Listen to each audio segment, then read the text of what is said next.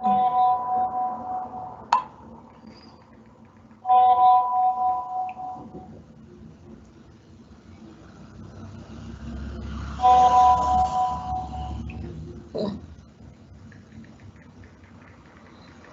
어.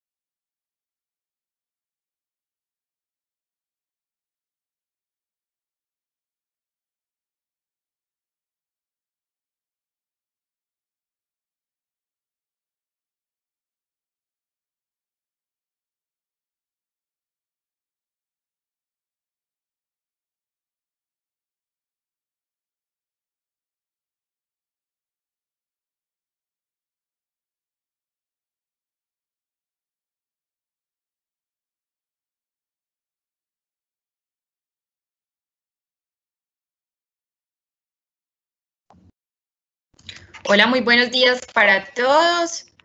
Mi nombre es Manuela Ordóñez, analista del programa Afiliados Primero de la Cámara de Comercio de Medellín para Antioquia y queremos darle la bienvenida a todos ustedes a este espacio, agradeciendo su interés y su buena acogida a esta invitación y que estén hoy aquí asistiendo con nosotros. El día de hoy tenemos el taller comercial virtual.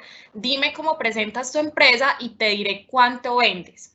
Esta va a ser la primera sesión de dos talleres que vamos a tener eh, y que van a recibir ustedes la invitación en estos días para el 14 de julio, que va a seguir la segunda sesión de este taller.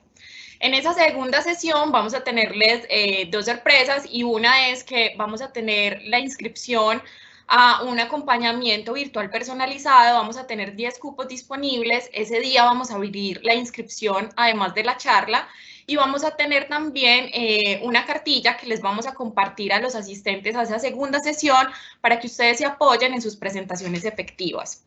Bueno, quiero recordarles también que tenemos abiertas las inscripciones para el mercado de afiliados que se realizará con la feria virtual más amor, más amistad, que lo que queremos es que ustedes puedan acercarse a sus clientes potenciales, ofrecer sus productos y servicios y eh, los invitamos a que se postulen antes del 10 de julio. Ahí en la pantalla pueden ver eh, el link donde se pueden inscribir. Por acá en la zona de preguntas también les vamos a poner el link para que se vayan directamente y se postulen a esta feria virtual.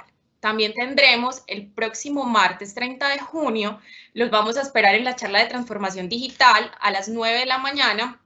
Además, les contaremos del nuevo beneficio para ustedes los afiliados con acceso a la biblioteca virtual, que es líder a nivel mundial y tiene unos libros increíbles. Entonces los esperamos. Ahí también está el link para que se inscriban. Eh, los vamos a poner también acá en la zona de preguntas para que se puedan inscribir directamente y asistan a esta charla. Y por último, em, tenemos un espacio exclusivo de formación virtual que hemos enviado a sus correos con sus accesos. Si aún no han recibido de pronto ese link, em, les pedimos que por favor nos escriban al correo que aparece también ahí en la pantalla, afiliados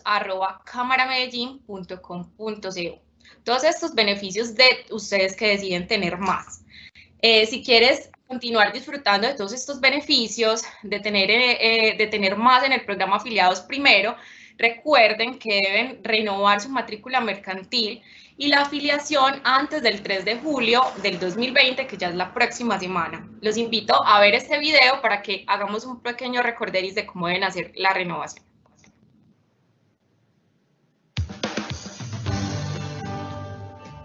Hola, en la cámara queremos cuidar es por eso que te invitamos a renovar tu matrícula mercantil de forma ágil y segura en cameramedellín.com.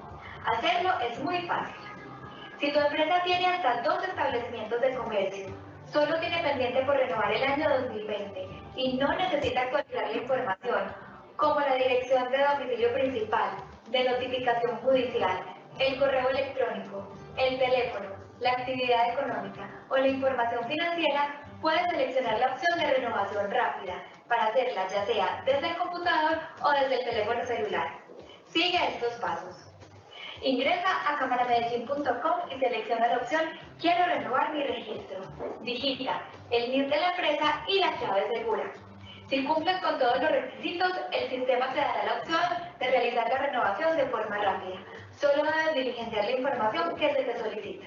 Para terminar, puedes pagar por PSE o puedes imprimir el recibo para pagar en Éxito, Baloto, Gana, Paga Fácil, los bancos y otras entidades en convenio.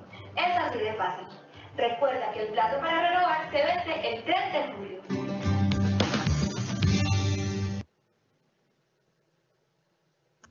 Listo, muy importante que tengan en cuenta esta información, eh, que la comuniquen a los contadores de sus empresas también para que lo tengan en cuenta y puedan seguir disfrutando de todos estos beneficios.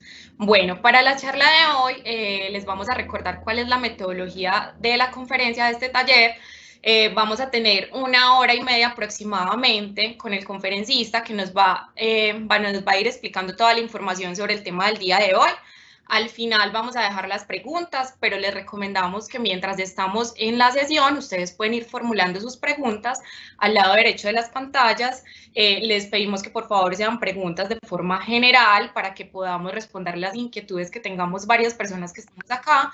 Le pueden ir dando like a cada pregunta que ustedes quieren que se responda al final de la charla y pues el conferencista eh, va a sacar el espacio de 20 minutos y vamos a responder todas sus inquietudes. También los invitamos a que consulten toda la programación de los eventos eh, en la cámara medellín.com.co. Ahí pueden encontrar eh, la información y en las redes sociales también pueden encontrar la información de las demás charlas, pero en especial para ustedes que hacen parte del programa Afiliados Primero, ingresan a la página cámaramedellín.com.co eh, y le dan clic a Hago parte de Afiliados Primero y ahí encuentran la programación que es exclusiva para ustedes. Esta charla va a quedar grabada y se va a compartir en la biblioteca virtual de la página para que lo tengan en cuenta, que ahí pueden acceder a la grabación a partir de mañana y de las memorias. Bueno, sin más preámbulos, les vamos a presentar el conferencista que tenemos hoy. Él se llama Andrés Marulanda Montoya. Él es fundador y CEO de Intuit Group, experto en procesos de aprendizaje corporativo, desarrollo de equipos y facilitador de procesos de alto nivel. Es magíster en gestión de organizaciones, especialista en marketing eh, y finanzas y administrador de empresas. Dentro de su experiencia se encuentran procesos de consultoría y, y facilitación de diversas empresas del sector público y privado, en gestión del conocimiento, marketing, endomarketing, fortalecimiento de equipos, estrategia, servicio, gestión del cambio en América Latina, Además, eh, se concentra en procesos de investigación y educación virtual corporativa, Scrum Master certificado, coach empresarial a nivel profesional eh, y pues cuenta con una amplia experiencia como docente de posgrados en diversas universidades de Colombia y Ecuador a nivel de especializaciones y maestrías y es conferencista internacional. Entonces es una persona muy preparada para darnos la información que queremos el día de hoy. Le damos entonces el paso a Andrés, les damos la bienvenida a ustedes y esperamos que lo disfruten muchísimo. Andrés, hola, ¿cómo estás? Hola, muy buenos días. Denme un segundo, por favor.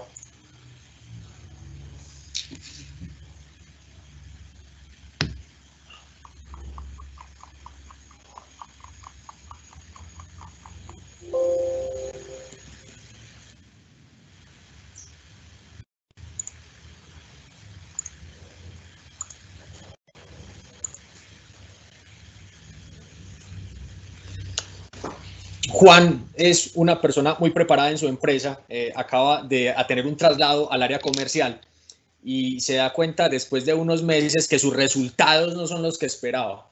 empieza a hacer un proceso de conciencia de qué es lo que está pasando, porque curiosamente Juan es el que más conoce los productos de la empresa, Juan es el que más conoce los procesos y Juan prácticamente desde la fundación de la organización hace 20 años eh, está acompañando la compañía.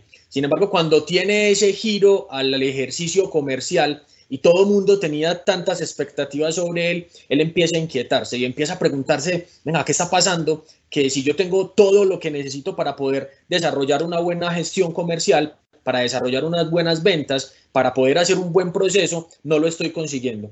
Juan en ese momento empieza a hacer conciencia de que, venga, es que, ¿qué está pasando con mis presentaciones? ¿Cómo estoy presentando? ¿Cómo me estoy acercando a esos clientes? Y empieza a entender que definitivamente el foco principal de una venta es la presentación. Y nos vamos a concentrar en este momento, ¿sí? Disculpa molestarte, no estamos viendo la presentación, modo presentación. Se ve como en dos pantallitas. ¿La organizas para podértela poner, porfa? Gracias. Espérame un segundo. Ahí la ven en modo presentación, ¿no? En este momento no estás compartiendo. Ok.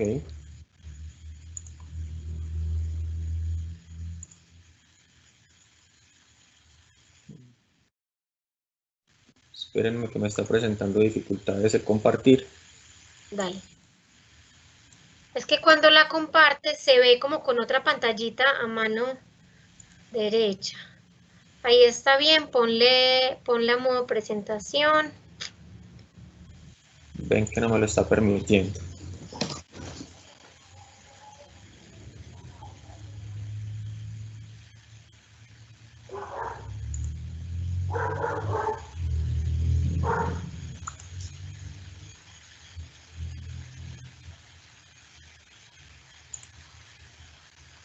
No la deja, ¿cierto? No, sigue mostrando esa pantallita a un ladito. Si lo compartes en PowerPoint normal. Espérame un segundo tan amable. Ahí se ve la presentación base. Sí.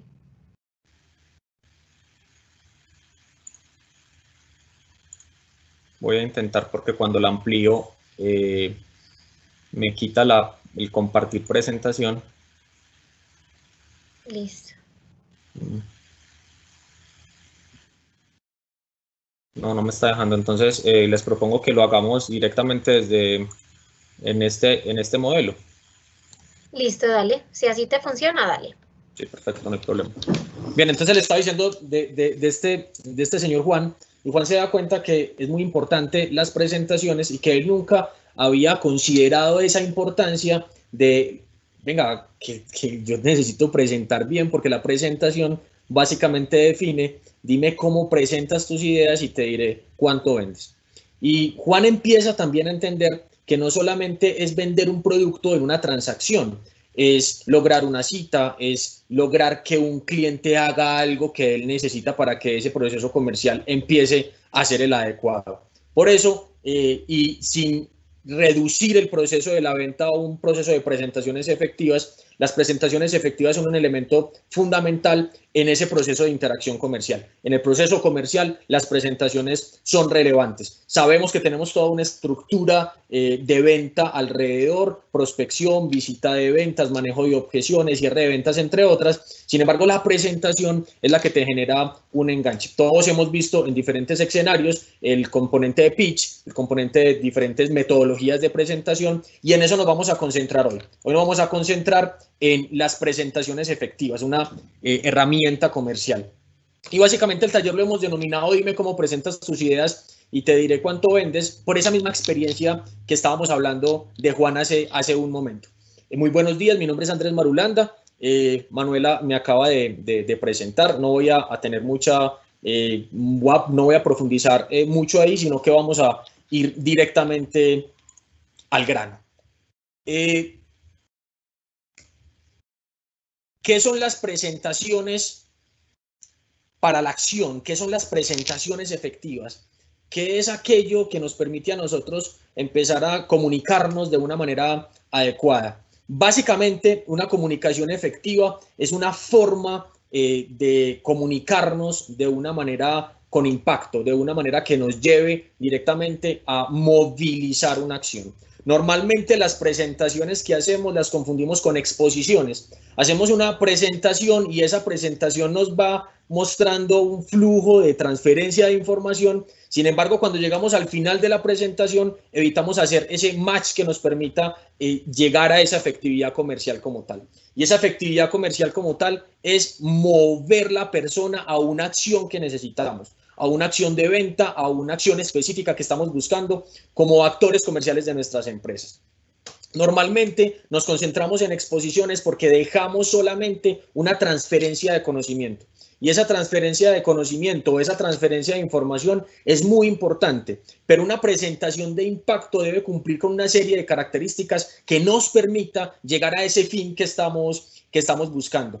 Y normalmente nos encontramos con muchas exposiciones, siempre las estamos viendo. Sin embargo, cuando vemos una presentación de impacto, automáticamente nos llama la atención. Por eso, como eh, ejecutivos de ventas, yo, por ejemplo, en mi empresa eh, soy el encargado de la gestión comercial, tengo todo el tiempo que estar haciendo presentaciones y uno empieza a identificar el gran beneficio que tiene hacer presentaciones efectivas y entre más corta y contundente sea la presentación, muchísimo mejor. Por eso nos estamos encontrando lo que les comentaba ahorita el pitch, que el pitch es una herramienta que te permite en muy corto tiempo hacer una presentación que realmente abarque los componentes que necesitamos eh, generar. Y lo vemos en eh, muestra de ello es Shark Tank, eh, Dragon's Den, diferentes programas donde vemos, venga, tiene un tiempo limitado para hacer una presentación y tenemos que elegir aquellos elementos que me permitan construir esa presentación para lograr ese impacto eh, esperado. Eh, cuando hablamos de una presentación, entonces, vamos a dividirla en tres grandes bloques. El primer bloque vamos a considerarlo como el bloque de apertura. En una presentación, la apertura es lo más importante. ¿Por qué? Porque tenemos máximo 30 segundos para captar esa, e, e, e, esa atención de las personas.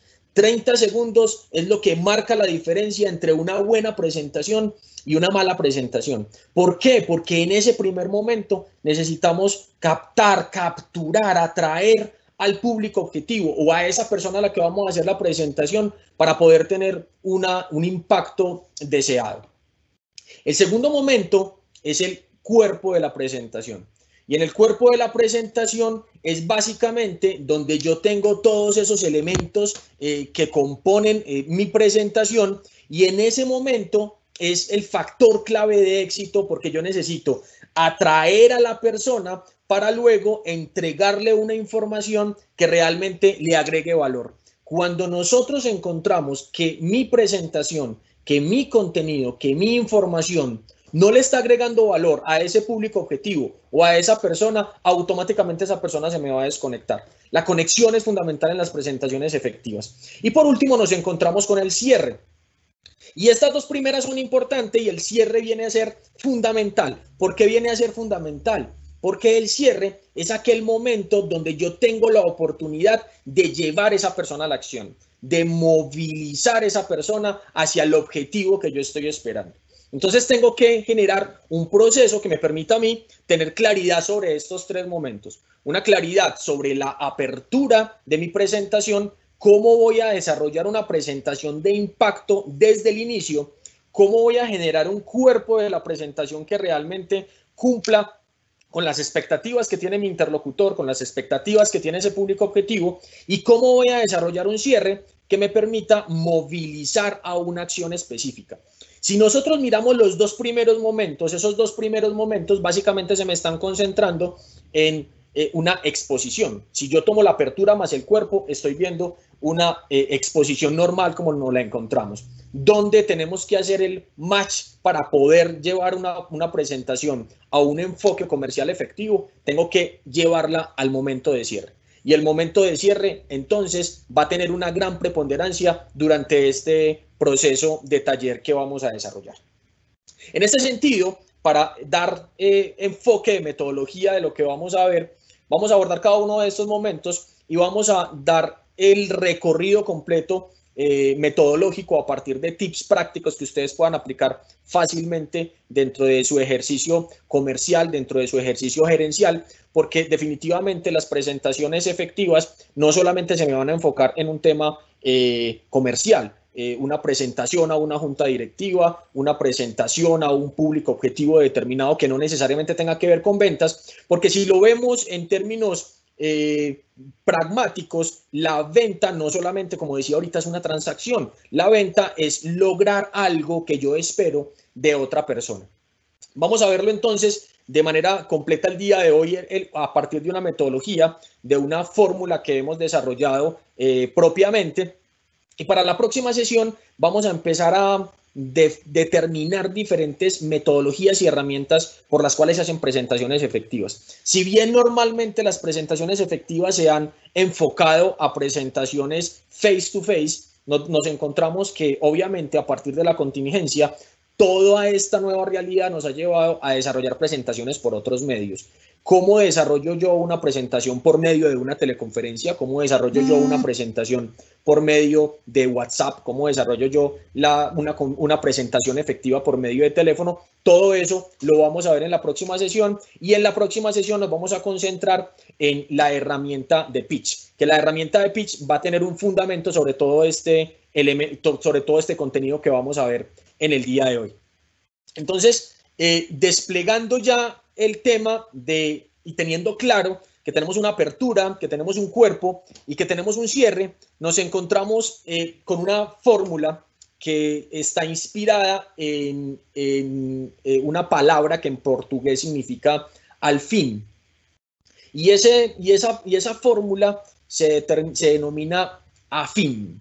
Y afín es un cuatro pasos que nos permiten empezar a definir cómo yo puedo metodológicamente desarrollar una presentación efectiva. Y una presentación efectiva que cuando yo la despliego de una manera sistemática, voy a tener resultados a partir de eh, impacto que va a generar mi presentación como tal. Entonces, ¿qué es afín? Afín es cuatro elementos que tengo que tener en cuenta y que tengo que ejecutar en un orden específico. El primer elemento es atrae. ¿Qué es atrae? Atrae es ese primer eh, momento de la apertura de mi presentación donde yo básicamente lo que hago es enganchar la atención del cliente. Cómo yo atraigo al cliente para que el cliente genere un interés en mi presentación. Y eso es absolutamente fundamental, porque si yo no genero ese interés, si yo no engancho al cliente, si yo no genero ese feeling para que él diga, venga, lo que usted me está planteando realmente me interesa, ahí voy a tener una dificultad y vas a tener una presentación que normalmente va a ser una presentación donde la persona, por obvias razones, puede que te escuche y te, genere pues el espacio, pero definitivamente no va a tener el impacto comercial que necesitamos generar en esa persona. El segundo paso de la fórmula se llama focaliza. Y focaliza es, me tengo que concentrar en aquello que realmente a partir de lo que conozco de ese prospecto necesita, requiere, qué le voy a entregar. Pero ahí las presentaciones efectivas empiezan a concentrarse en menos es más. Mientras más focalizado yo esté en mi presentación, más impacto voy a tener. Porque muchísimas veces creemos que tener una presentación y tener la oportunidad de hacer una, eh, tener la oportunidad de hacer una, una, exposición, una presentación ante un público objetivo que nos interesa mucho, eh, puedo abordar diversidad de temas. Y nos vamos a dar cuenta durante el despliegue de esta fórmula que no es así. Cuando hablamos de presentaciones efectivas, menos es más, y eso es importante que lo tengamos en cuenta. El tercer, el tercer paso de la fórmula eh, de afín es involucra. ¿Qué es involucra? Necesito empezar a, relacionar todo mi discurso con la realidad del público objetivo. Tengo que involucrar todo lo que estoy planteando con una problemática específica que mi público objetivo tiene y que yo tengo la capacidad de solucionar. Y por último, cuando estoy hablando de moviliza, me estoy encontrando con el momento eh, más importante de el proceso de una presentación efectiva en el cierre, que ahorita vamos a ver cómo esto se me relaciona con los, con los, con los componentes de una presentación efectiva, moviliza es cómo hago yo para que esa persona o ese público objetivo realmente eh, se movilice, valga la redundancia, al punto en el que yo quiero que esté. ¿Cómo hago yo para persuadir? ¿Cómo hago yo para solicitar? ¿Cómo hago yo para llevar a esa persona de un punto A donde se encuentra actualmente a un punto B donde yo quiero que esté? Entonces, relacionando directamente las, las partes de una presentación con AFIM, nos encontramos este, esta estructura. Eh, nos, cuando estamos hablando de la apertura, en la apertura el atrae es fundamental. Y si veíamos ahorita en las líneas que teníamos eh, sombreadas, me voy a devolver por acá. Cuando miramos estas sombras, la apertura es muy corta, el cuerpo tiene una extensión importante y el cierre también es corto. Por eso nosotros tenemos acá que la apertura se me concentra en la A de afín, de atrae, el cuerpo se me concentra en focaliza e involucra y cuando yo sumo el atrae, focaliza e involucra, estoy mismo, estoy listo para hacer la movilización del punto A al punto B que quiero de ese, de ese público eh, objetivo. Bien, entonces vamos a empezar a desplegar cada uno de los elementos dentro de la estructura metodológica. Entonces, eh, cuando hablamos de atrae, eh, atrae básicamente lo que busca es centrar la atención de la persona o las personas a las que te diriges. Y para lograrlo, vamos a empezar a definir algunos tips importantes. Atrae es un elemento vital, porque como decíamos ahorita la definición, es la clave para atraer ese, para enganchar a ese público objetivo en muy poco tiempo. La atención del adulto, y lo miramos desde los procesos de aprendizaje, desde los procesos de andragogía, que es la ciencia que estudia cómo el adulto eh, aprende, cómo el adulto genera una interacción con diferentes contenidos, es básicamente eh, que tenemos muy poco tiempo para atraer la atención. Sobre todo porque nos encontramos en un mundo y a partir de todo lo que nos ha pasado y antes también, el tiempo era un factor clave de éxito. Entonces tenemos personas que tienen muchísimas cosas para atender. Y en ese proceso de muchísimas cosas para atender, tenemos muy poco tiempo para que esa persona realmente nos preste atención, para que esa persona se centre en nosotros. Por eso, este primer momento es fundamental. El primer momento de la presentación se convierte en un factor clave de éxito porque hace la diferencia entre tener una persona que simplemente me está escuchando y por cortesía está permitiéndome hacer una presentación o permitirle a esa o, hacer que esa persona realmente se enganche conmigo y se encuentre en una posición dispuesta y, y en apertura porque de entrada sabe que va a tener un elemento que le va a agregar valor eh, para sí, para su compañía y en otros contextos eh, que, podamos, que podamos tener. Por eso vamos a empezar entonces a desplegar una serie de tips por cada uno de los elementos de la FIM para poder eh, desarrollar esas presentaciones que nos orienten a la acción. Una cosa es tener una presentación, otra cosa es desarrollar una presentación orientada a la acción del público, del público objetivo.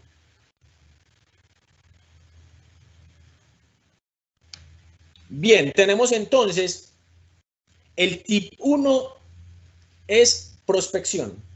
Y cuando hablamos de, la apertura, la apertura tiene que ser planeada. Evitemos al máximo improvisar las presentaciones. Estructurar las presentaciones eh, tiene muchísimos beneficios. Y estructurar las presentaciones es que yo puedo tener un guion plenamente montado, tengo un guion plenamente memorizado pero cuando yo me encuentro con diferentes prospectos de público objetivo, con diferentes prospectos de personas que vamos a tener la oportunidad de, hacer esa presentación, me voy a encontrar que ese discurso lo tengo que girar para poder identificarme con ese, con ese público objetivo. Entonces, ¿qué es la prospección? La prospección, básicamente, y esto se me enlaza directamente con el proceso de ventas, es investigar a quién me voy a dirigir saber cuáles son esas características particulares de a quién me voy a dirigir, conocer esas necesidades y ese, conocer ese buyer persona que nos permita eh, caracterizarlo y saber cuál es la mejor manera de poder orientarme a él. Eso básicamente se puede hacer por eh, consultas de fuentes primarias o secundarias, conocimientos previos que yo tenga, consultar con personas que ya hayan tenido la oportunidad de presentarse y obviamente nos vamos a encontrar con una diferencia sustancial cuando yo presento a una persona o cuando presento a varias personas porque esa prospección me cambia. Cuando yo voy a presentar a una persona y esa persona es eh, una, hace parte de ese público objetivo que yo tengo dentro de mi enfoque comercial, yo investigo la persona, investigo la empresa, investigo las necesidades y tengo un contexto general para poder hablarle con propiedad a esa, a esa persona. Sin embargo, cuando voy a hablar de un equipo, ya no tengo que, ya tengo que investigar alrededor del equipo e investigar alrededor del equipo varios elementos. ¿Quién es la persona que toma las decisiones? ¿Quién es la persona que, que tiene influencia? Aprender sobre las personas a las cuales voy a dirigir mi presentación es fundamental. Y en esa prospección yo necesito irme preparado, pero irme preparado desde un conocimiento de manejo del tema, de poder presentarle y de poder llegar como si ya conociera a esas personas, porque eso te va a dar un paso adelante. Eso te va a dar una ventaja adicional. Entonces la prospección la fundamentamos en esos dos elementos, investigación de fuentes primarias, investigación de fuentes secundarias. Investigación de fuentes secundarias, eh, la consulta por páginas web, la consulta por redes sociales, la consulta por Google alrededor de diferentes cosas que no necesariamente sea ingresar a la página web de la empresa para ver qué es lo que necesita, sino mirar diferentes artículos de prensa, diferente, diferente información que te pueda dar un contexto y no quedarnos solamente alrededor de lo que eh, estamos encontrando con la empresa como tal conocer el sector y la realidad de lo que está pasando, eso te permitirá tener diferentes argumentos que podrán generarte valor dentro de la misma, dentro de la misma presentación, como lo veremos más adelante. Y la investigación por fuentes secundarias es cualquier persona que haya tenido un contacto con esa o esas personas te va a dar información fundamental, porque te va a permitir hacerte una idea de lo que te vas a, de lo que te vas a enfrentar, teniendo en cuenta que no que anteriormente no haya tenido un acercamiento. Si he tenido un acercamiento previo, esa información la tengo que materializar a partir del aprendizaje que he desarrollado. Entonces, lo primero es prospectar. Evitemos al máximo generar un guion de presentación y ejecutar ese guion de presentación con todo el mundo. Otro elemento importante que lo vamos a, ver más adelante, venga, ¿cuál, cuál, ¿cuál es la mejor forma de llegarle a las personas? Cuál es esa mejor forma y cuál es, y cuál es eh, la, la, la, aquellos match que me permiten empezar a que la persona se vincule directamente conmigo. Segundo, ¿cuál es el objetivo que voy a tener de la presentación? Como decía ahorita, hay diferentes objetivos que tenemos dentro de presentaciones. Un objetivo puede ser, eh, yo tengo, eh, yo necesito una cita y necesito salir con una fecha y hora para tener esa cita posterior. Eh, si lo miramos en el contexto de elevator pitch, suele suceder muchísimo. Tengo una persona que vengo eh, persiguiéndola hace dos meses, casi no la encuentro, me la encuentro y la persona me dice que tiene un minuto, tengo un minuto para hacer la presentación y esa presentación ya no va a ser de venta. Potencialmente no voy a cerrar una venta en un minuto, pero en ese minuto sí puedo aprovechar para yo poder decirle, venga, deme una cita eh, para poder ampliarle esta información. O ni siquiera necesito una cita, necesito obtener los datos de la persona, necesito que esa persona me dé una tarjeta de presentación donde tenga todos los datos o simplemente eh, me comparta los datos porque me encuentro, y esto suele suceder mucho en, eventos de networking y demás, donde tengo muy poco tiempo para hacer una presentación y empezar a recopilar datos para luego eh, hacer una gestión comercial muchísimo más estructurada. ¿Cuál es el objetivo de esa presentación? Y en, esa, y en ese objetivo de la presentación, donde tengo que considerar algunos otros elementos, cuál es el tiempo que tengo para lograr ese objetivo, porque si yo tengo un proceso de venta como tal y tengo un minuto, tengo que estructurar una presentación muy sólida para poder desplegarlo. A nosotros nos pasó algo, estamos en un, en un proceso de rondas de inversión eh, y la semana pasada nos invitaron a una, a una presentación y nos dijeron, tiene cuatro minutos, y nos dijeron eso en el momento de la presentación. Tiene cuatro minutos y vamos a tener cinco minutos más de preguntas. En ese momento tenés que ajustar toda la estructura, porque nosotros veníamos con una presentación de 30 minutos, como inicialmente nos lo habían dicho, pero cuando, yo, cuando me dicen tengo cuatro minutos, automáticamente tengo que ajustar mi estructura, ajustar mi objetivo para poder eh, lograr el objetivo que yo, estoy, que yo estoy buscando. Y ese objetivo, obviamente, lo vamos a enlazar a una metodología. Traigo SMART como una metodología de definición de objetivos, es decir, el objetivo debe ser específico, me tengo que concentrar específicamente en ese objetivo, el objetivo debe ser medible, ¿Cómo, ¿Cómo, voy a, al final voy a saber si cumplió o no el objetivo? Si quiero una tarjeta de presentación, tengo la tarjeta o tengo los datos de contacto. ¿Cómo hago yo para poder definir si tengo éxito o no tengo éxito? Tiene que ser alcanzable, porque por ejemplo, en la presentación que hice la semana pasada, ninguna de las personas que, está, que, eran, que eran mi público objetivo conocían del modelo de negocio que íbamos a presentar y eso nos implicó eh, cambiar. En, en, 30 minutos yo puedo hacer una presentación mucho más amplia, pero si me bajan a 4 minutos, básicamente voy a orientarme a un proceso de información y comprensión para posteriormente llegar a un proceso de venta que es el objetivo, el objetivo final. Que represente un reto, eh, la R de Smart, y que tenga un tiempo eh, determinado para lograr ese, ese objetivo. Bien, tenemos en el tip 3 la preparación. Si ustedes se han dado cuenta hasta este momento, estamos hablando de la apertura y llevamos tres tips, pero todavía no hemos hecho la apertura real de nuestra presentación. Estamos concentrados en, venga, ¿qué tengo que hacer yo para preparar y que esa apertura realmente cumpla con lo que yo estoy esperando y con lo que el público objetivo también eh, está esperando eh, de la presentación. Entonces, la preparación hace las dos, los dos tips anteriores hacen parte de la preparación definitivamente. Eh, yo hacer una prospección de mi público objetivo es un elemento clave de la preparación. Eh, yo poder desarrollar esas, esas, esas posiciones y anticiparme a lo que me pueda pasar es una, un, elemento, un elemento fundamental. Y aquí vamos a hablar de la preparación en 3D. Y esa preparación en 3D implica entrenamiento. Para las, presentaciones efectivas, eh, la improvisación viene por la experiencia y la experiencia es un proceso de entrenamiento.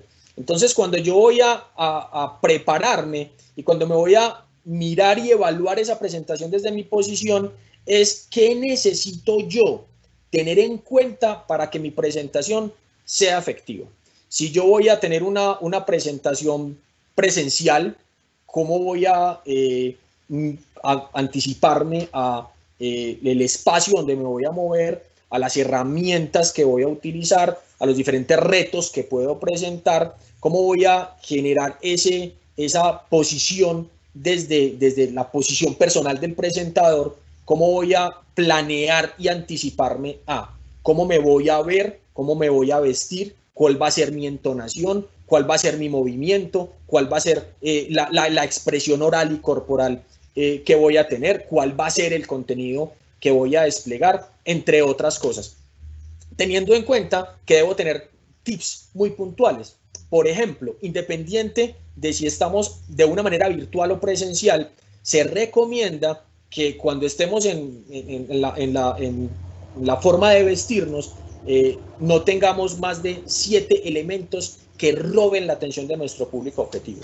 Es decir, entre más neutrales seamos, muchísimo mejor. Entre menos elementos y accesorios tengamos en nuestra vestimenta, va a ser muchísimo mejor. De hecho, hay algunas, eh, algunos enfoques teóricos que plantean que el negro es el mejor color para hacer, para hacer presentaciones. Si voy a hacer la presentación por presencialmente, debo tener en cuenta cuál va a ser ese enfoque eh, que se identifique, que me genere un feeling con ese público objetivo, porque nos encontramos y nosotros que, trabajamos con diferentes organizaciones como clientes, nos encontramos que hay clientes donde la corbata sigue siendo un elemento clave y hay clientes donde la corbata ya no hace, eh, ya no hace parte de esa, de, esa, de esa cultura y ese código de, de, vestimenta que se utiliza. En ese sentido yo tengo que tener eso claro y por eso estábamos hablando arriba de prospección. El segundo elemento de esa eh, preparación en 3D para poder tener diferentes elementos que me permitan eh, anticiparme a las cosas que puedan, que puedan suceder es el público objetivo. Y en ese público objetivo, venga, ¿qué me podría preguntar el interlocutor? ¿Cuál sería la posición de ese interlocutor según esa prospección que desarrollé? ¿Qué va a pasar con él? Yo, el primer momento es, yo me preparo desde mi posición como presentador. Segundo, me preparo cómo va a ser ese público objetivo. ¿Qué va a pasar con ese público objetivo? ¿Qué posiciones puede tener ese público objetivo? ¿Qué preguntas me pueden hacer? ¿Qué va a pasar con ciertas posiciones que presencialmente, si, la, si el interlocutor o los interlocutores están asintiendo con la cabeza o están negando con la cabeza o no tienen una posición donde yo vea si están entendiendo o no están entendiendo, porque hay personas que eh, no tienen una expresividad que me permita identificarlo, si yo me preparo, voy a tener mayores herramientas para tener éxito. Otra cosa es, por ejemplo, lo que me está pasando en este momento, en esta metodología, yo tengo una presentación con unas personas que yo no estoy viendo. Y cuando estamos hablando eh, digitalmente, eso pasa mucho. Nos encontramos con muchísimas reuniones virtuales, por Teams, por Zoom, por Meet, por diferentes herramientas, por el mismo WhatsApp, donde estamos en contacto con personas, estamos haciendo una presentación y no vemos las otras personas, porque las otras personas inactivan su cámara, bueno, por diferentes, por diferentes circunstancias. En ese sentido, yo no sé qué está pasando con la otra persona y tengo que tener herramientas para poder prepararme, que eso va a ser tips de los que vamos a ver en la próxima sesión. Y tercero, escenarios probables. ¿Qué va a pasar con diferentes escenarios eh, que, yo pueda, que yo pueda tener eh, probables y que puedan eh, suceder durante, durante todo el proceso? ¿Qué puede pasar si se va la luz? Si el sistema no funciona, si tengo diferentes eh, retos y de un momento a otro la presentación no se va a desarrollar en un lugar, sino que se va a desarrollar en, otro, o si me cambian la metodología en el último momento, caso lo que me pasó la semana pasada, eh, nos conectamos, estamos todas las personas ahí, todo está bien y antes de iniciar no tenemos 30 minutos Andrés, tenemos solamente 4 minutos, por favor adelante. Tengo que anticiparme a diferentes escenarios que me permitan poder eh, tener una, una, una capacidad de respuesta adecuada ante las diferentes situaciones que se van presentando. Por eso presentamos este modelo de preparación 3D. Primero, desde mi posición como presentador. Segundo, desde la posición del público objetivo, desde esa persona que me permita poder eh, entenderla, comprenderla y demás, y para eso la prospección funciona mucho. Y tercero, mirar cuáles son esos escenarios probables que se pueden, que se pueden presentar dentro de, estas, dentro de eh, esa presentación y de ese tiempo que voy a tener de presentación. Obviamente, esto me va a variar de una manera significativa si yo tengo una presentación donde tengo un tiempo mayor para planear o una presentación que me surge de, improviso. Sin embargo, si yo llevo, volviendo al ejemplo ahorita, yo llevo dos meses detrás de una persona que me interesa mucho, que es un prospecto muy interesante para mi empresa, que puedo generar una relación y que necesito generar una relación importante a nivel comercial y me lo encuentro en un escenario donde no tengo mucho tiempo para hacer la presentación, esto ya se debió haber realizado de una manera indirecta. Yo ya debo haber tenido una prospección con esa persona, yo ya tengo que conocer cuál es el enfoque de su empresa, cuáles son sus necesidades y demás. Y yo, a partir del entrenamiento, empiezo a tener un flujo que me permita activar presentaciones efectivas de una manera, de una manera muy rápida. Bien, vámonos para el tip 4. Y en el tip 4 ya estamos hablando de la presentación como tal. ¿Qué pasa entonces con la presentación? Hasta el tip 3 no estamos hablando de un tema de presentación, no hemos entrado en acción, el tip 1, eh, prospección, el tip 2, definir ese objetivo y el tip, y el tip 3, eh, hacer ese proceso de, planeación, de, preparación en 3D. Ahora vamos al momento, de la, al momento clave, el momento donde se va a generar esa apertura. Aquí vamos a tener varios tips en cuenta. El primer tip, evite al máximo presentarse de entrada con su nombre, cargo, experiencia y demás. Ese es uno de los errores más comunes que nos encontramos. Evite a toda costa iniciar presentando eh, su nombre, eh, porque eso normalmente tiende a desconectar al público y se vuelve una presentación muy cotidiana.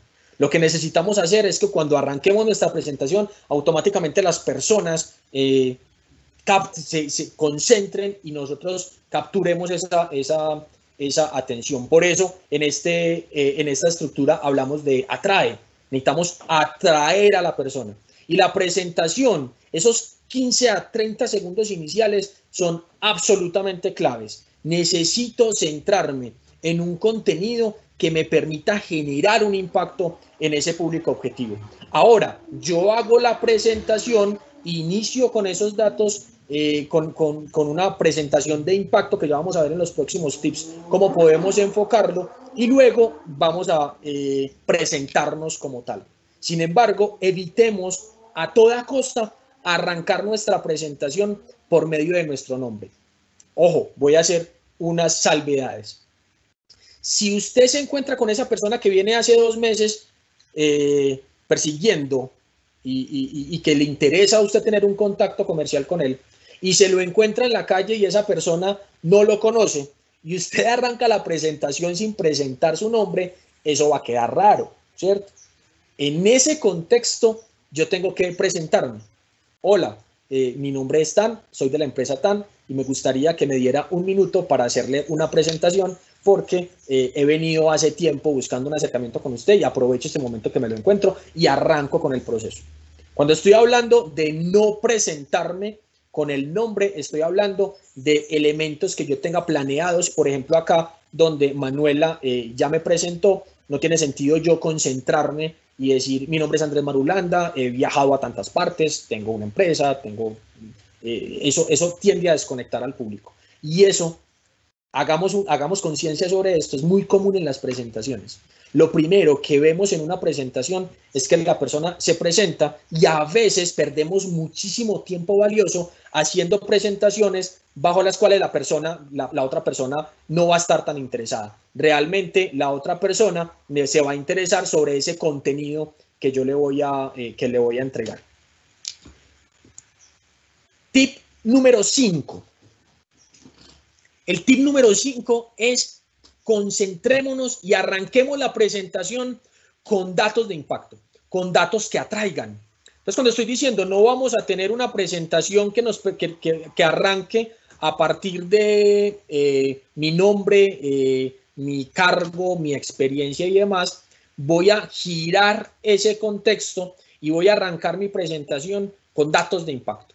Datos de impacto que enganchen a la otra persona datos de impacto como sabías que, datos de impacto con estadísticas, datos de impacto con métricas que, de inmediato atraigan la atención de ese, de ese prospecto. Obviamente, esos datos tienen que estar validados a partir de esa prospección que hicimos y a partir de esa investigación que hicimos para asegurar que esos datos realmente agregan valor y le interesan y son pertinentes con ese público objetivo que estamos, que estamos abordando como tal. Entonces, aquí estamos planteando también que ese proceso de investigación me tiene que llevar a que el contenido de mi presentación sea pertinente. Y sea pertinente porque eh, yo tengo diferentes públicos que así tengan un core de negocio igual, tienen enfoques distintos. Yo no podría hacer una presentación exactamente igual a dos competidores porque esos dos competidores, aunque hagan lo mismo, básicamente tienen características sustancialmente distintas. Entonces, es importante investigar esos datos.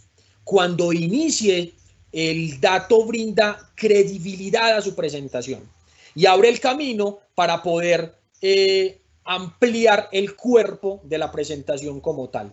El dato que brinde debe ser pertinente, debe ser actual y debe ser de interés para ese público eh, objetivo. Y ahora sí, luego de hacer eh, la, apertura, podemos saludar, presentarnos y ya generamos un, enlace y un enganche importante eh, con ese público. Aquí como, como elemento importante es cuando usted vaya a dar datos eh, que estén referenciados, por favor, referencie esos datos. según Nielsen, según sabías que, según la última investigación de tal empresa o de tal fuente bibliográfica, eh, lo, que lo que tenemos en esta industria es A, B, C, D, y eso te permitirá a, incrementar ese nivel de, credibilidad porque es importante generar esas, esas referencias eh, como tal. Bien, tenemos el tip número 6. El tip número 6 es un elemento eh, complementario o es un elemento adicional al eh, tip número 5 de los datos. ¿Por qué es un elemento adicional? Porque yo puedo arrancar mi presentación con datos de interés que atraigan el público objetivo o puedo arrancar mezclando esos datos dentro de una historia. Por ejemplo, mi presentación ahorita estuvo centrada en Juan. En Juan, en la historia de una persona que lleva mucho tiempo en la organización, entra un enfoque comercial y se da cuenta que sus resultados no son tan importantes hasta que hace conciencia de la forma como está haciendo las presentaciones a sus clientes y al público objetivo que le interesa llegar con esa, con esa información. Y él se da cuenta que ya no es, eh, no es solamente conocer mucho el producto y tener un proceso de ventas definido, sino que la presentación hace eh, realmente la diferencia en un proceso comercial como tal. Entonces, ¿qué es la historia? La historia es, al ser humano le, encantan las historias. ¿Cuál es el gran éxito de, Netflix, de Amazon Prime Video y, de todas estas plataformas? ¿Cuál es el éxito del teatro? ¿Cuál es el éxito de, este tipo de entretenimiento? Y es que al ser humano y al adulto le gusta muchísimo escuchar historias. Otra forma de yo generar esa apertura en esa presentación inicial, básicamente, es contar una historia construir una historia que le permita montarse en una película al, público objetivo y atraerlo desde esa estructura de storytelling, que es básicamente eh, activar la imaginación. Y dentro de esa imaginación puedo incluir los datos de impacto anteriores datos de impacto que realmente se identifiquen, como decíamos ahorita, esos datos deben ser pertinentes, deben ser actuales y deben ser de interés para la persona, pero yo esos datos los puedo llevar a una, eh, eh, a una historia como tal y si utilizo metáforas y si eh, me concentro en, en, contar un cuento, voy a tener una, una mayor probabilidad de generar esa, esa atracción. Ojo, teniendo en cuenta que cuando estamos hablando de contar una historia, no estamos hablando de contar una historia durante cinco minutos. Estamos hablando de contar una historia corta que máximo esté entre 30 segundos hasta eh, un minuto. ¿Por qué se da eso? Porque si yo empiezo a gastar muchísimo tiempo en la apertura, la apertura va a perder su impacto y automáticamente voy a desconectar al público objetivo. Esos datos de impacto y esa historia inicial deben estar concentradas entre máximo 30 segundos, eh, perdón, máximo entre 30 segundos y eh, un minuto. Si lo hacemos más corto, eh, muchísimo mejor. Un dato de impacto puede que no me lleve más de 15 o 20 segundos. Inclusive podría estructurar una historia corta donde yo pueda tener ese margen, ese margen de tiempo. Recuerden, el proceso de apertura se concentra en esos primeros 30 segundos. Esos primeros 30 segundos son vitales para captar esa atención de la persona, para atraer esa persona y tener esa persona enganchada con mi presentación. Bien, tenemos el tip número 7. Y el tip número 7 es el tiempo. El tiempo me permite a mí calcular cuál va a ser mi enfoque de presentación. Porque yo puedo tener diferentes estructuras de presentación definitivamente. Yo puedo tener, si a mí me dicen, usted tiene una hora para hacer su presentación, pues yo voy a prepararme para una hora y en una hora yo puedo hacer una presentación extensa donde puedo utilizar diferentes recursos, donde puedo soportarme en diferentes herramientas para poder hacerla eh, en ese tiempo. Sin embargo, yo tengo que empezar a calcular el tiempo porque el tiempo define la metodología de presentación que voy a implementar. Por ejemplo, si usted va a tener un tiempo de cuatro minutos o vámonos para un tiempo de dos minutos, en dos minutos, por ejemplo, utilizar un apoyo eh, didáctico, una presentación, eh, entre otras cosas, puede ser contraproducente porque la presentación me puede robar tiempo valioso. Y yo tengo que adecuarme a las diferentes circunstancias. ¿Qué es adecuarme a las diferentes circunstancias? Si usted tiene una presentación planteada y por alguna razón esa presentación no funciona, aquí por ejemplo nosotros eh, tenemos un reto porque no tenemos cómo ver, eh, no, no, nos funcionó en algún momento y tampoco vamos a, a, a desgastar tiempo ahí, no nos presentó en pantalla completa, pero supongamos que no tenemos presentación.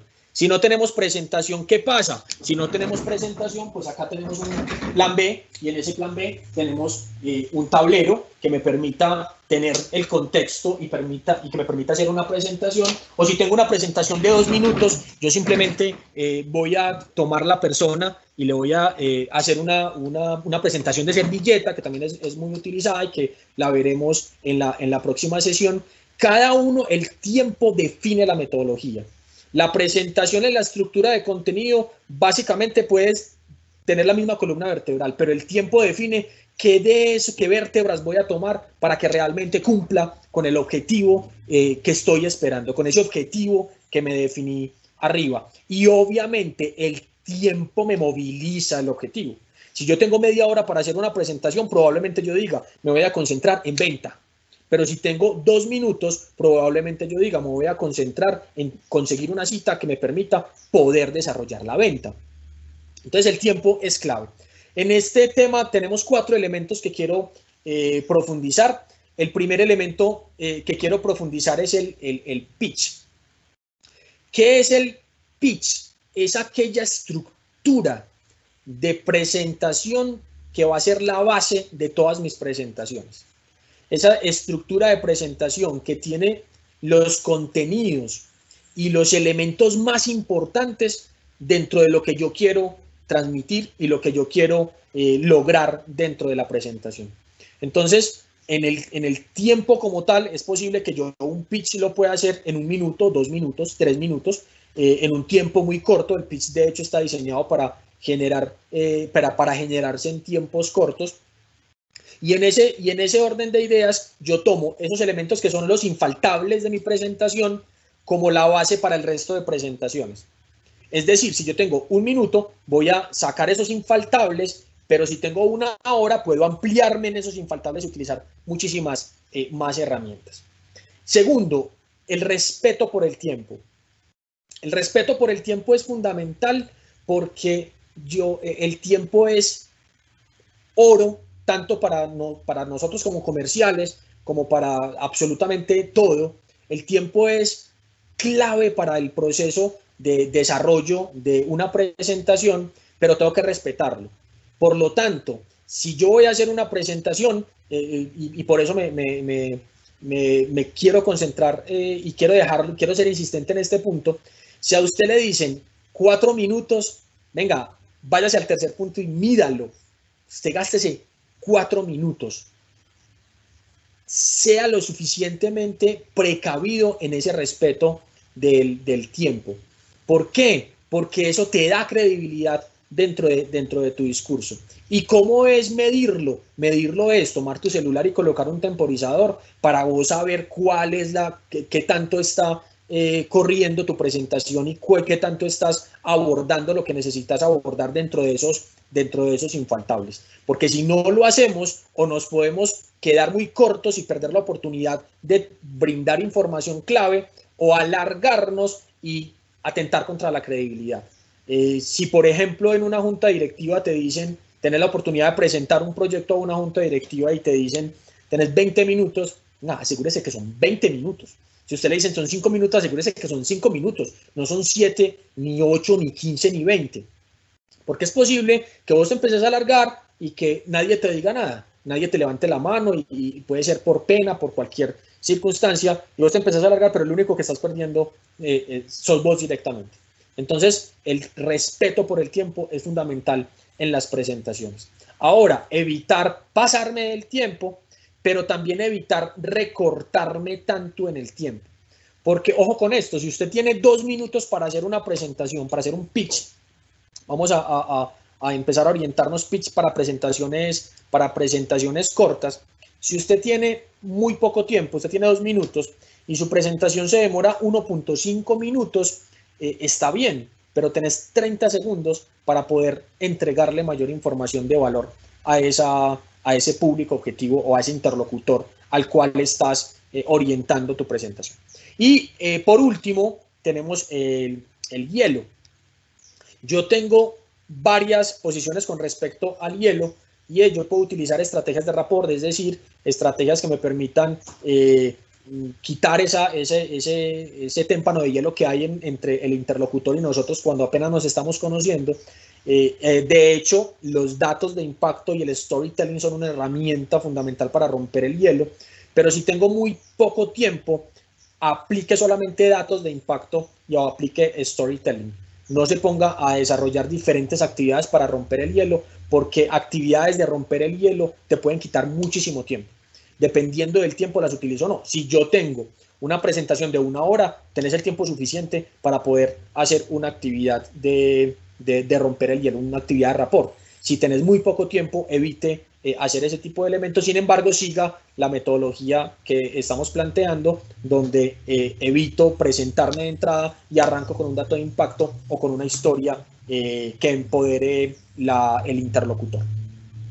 Tenemos el tip número 8. Y en el tip número 8, entonces, estamos hablando de las ayudas. ¿Qué ayudas voy a utilizar yo para hacer mi presentación?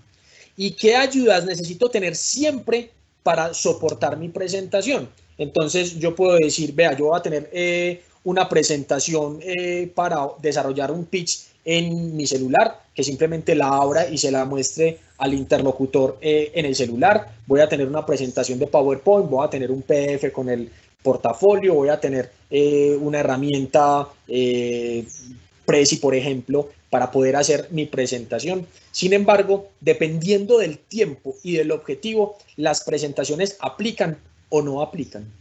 Yo soy de los que tiene la filosofía, si yo voy a hacer una presentación corta, vuelvo al ejemplo de la semana pasada, teníamos una presentación totalmente estructurada y cuando me dicen tiene cuatro minutos, activo mi cámara y eh, hago mi presentación eh, abiertamente haciendo la medición del tiempo. ¿Por qué no utilizo la presentación? Porque si yo tengo una presentación de 30 minutos y ahora tengo cuatro minutos, esa presentación lo que va a hacer no es ayudarme, sino que me va a desconcentrar. Porque la presentación está concentrada en la persona que está presentando no en la herramienta que tengo como tal. Y obviamente, como lo decía ahorita, tengo que estar preparado, como lo vimos en la planeación de 3D, para diferentes escenarios que se puedan presentar. Escenarios como cuáles? Escenarios como que la presentación no funcionó, no podemos tener presentación. Yo he conocido personas en las cuales se dice la presentación no funcionó y la persona prefiere no hacer la presentación porque no tiene, no tiene el apoyo de la presentación y yo necesito que la presentación sea la persona. La presentación definitivamente no es la ayuda que voy a, utilizar. Sin embargo, puedo tener eh, diferentes eh, ayudas de acuerdo a los estilos de aprendizaje de mis interlocutores. En la prospección hablamos un poco de esto. Es muy importante yo poder empezar a identificar cuál es ese estilo de aprendizaje. Y me voy a ir por los estilos de aprendizaje básicos. Yo tengo tres estilos de aprendizaje, tengo el auditivo, tengo el visual, el y tengo el kinestésico. Y si yo soy capaz de identificar ese, ese estilo de aprendizaje que tiene la persona, puedo llegar a un mejor, puedo generarle eh, un, mayor, un mayor impacto. Por ejemplo, si yo sé que la persona es muy auditiva, mi discurso va a ser el que va a enganchar a la persona. Porque si yo voy a concentrar toda mi energía en una presentación y, la, y, la, y, la, y definitivamente la persona no es tan visual, sino que es más auditiva, ahí voy a, voy a tener una, una, un nivel de resistencia con ese público objetivo. Básicamente, si yo soy capaz de identificar anticipadamente en, ese, en esa prospección y en esa preparación en 3D que estoy teniendo de mi presentación, voy a tener mayores probabilidades de tener éxito y de conectarme con. Por ejemplo, eh, no necesariamente tengo que tener una presentación, pero sí puedo tomar una hoja eh, y, un, eh, y, un, lápiz y hacer una, una, un boceto, un gráfico, hacer algo que en facilitación se llama facilitación gráfica. yo voy exponiendo y voy armando la película dentro de la, dentro, de la, dentro de la hoja. Incluso le permito a la persona poder interactuar y hacer preguntas directamente sobre el gráfico que se está desarrollando o traer un gráfico preestablecido físico que me permita tener eh, un elemento más orientado a lo kinestésico, más orientado a lo visual, generar una interacción distinta. No todas las herramientas funcionan para todo el mundo. No un buen discurso funciona para todo el mundo. No una buena presentación funciona para todo el mundo. Sin embargo, es importante preparar herramientas que tengan impacto en esos tres elementos, en lo auditivo, en lo visual y en lo kinestésico.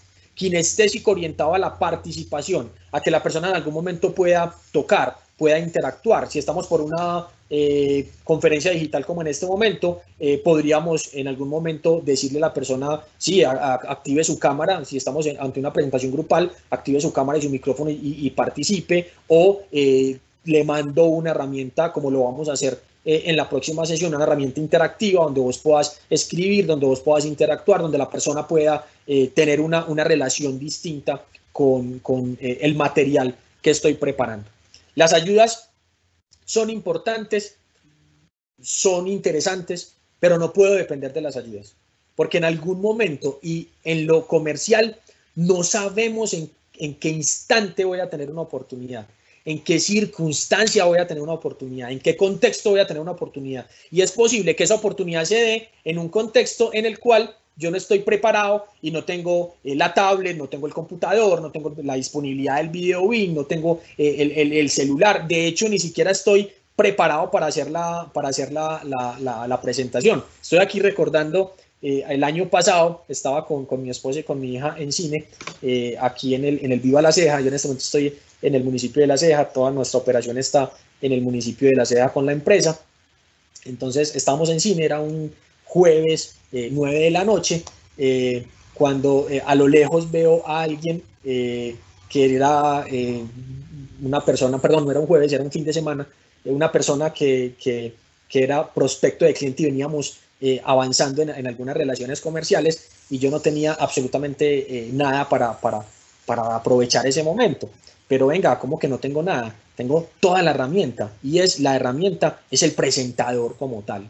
Independiente del contexto, una presentación efectiva se puede desarrollar a partir del presentador. Entonces, las ayudas son fundamentales, las defiendo sí totalmente.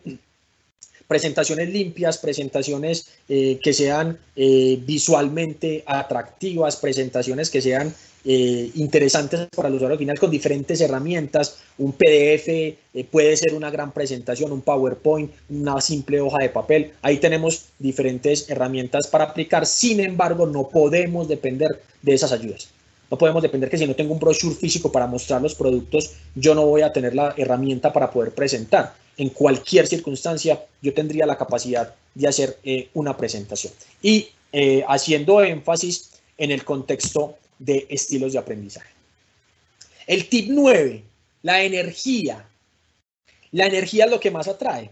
Entonces, cuando vayamos a hacer una presentación orientada a la acción, la energía tiene que eh, estar controlada.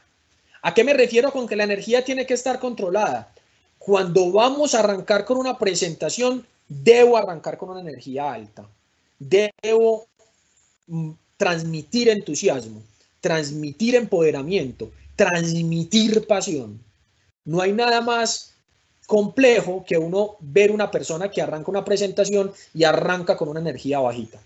De entrada, como dice el adagio popular, desde el desayuno se va a ver lo que va a ser la comida. Yo necesito arrancar con una energía eh, que, que, atraiga, que muestre ese, ese, ese arraigo que tengo por el tema y que me permita eh, poder eh, mostrar esos, esos niveles de energía óptimos eh, que quiero. Entonces, cuando estamos haciendo la apertura, la presentación arranca desde una energía alta.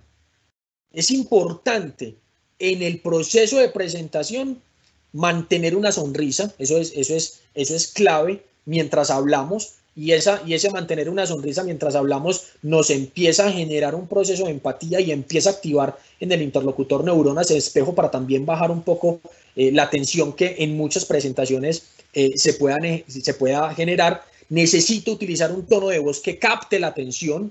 Yo no puedo arrancar con un tono de voz bajito porque eso no va a enganchar. Necesito arrancar con un tono de voz que sea de impacto, que mantenga, que, que, que muestre ese, ese, ese nivel energético, la expresión corporal debe denotar seguridad, debe denotar eh, que lo que estamos haciendo estamos preparados para esa presentación y que estamos seguros de lo que estamos haciendo.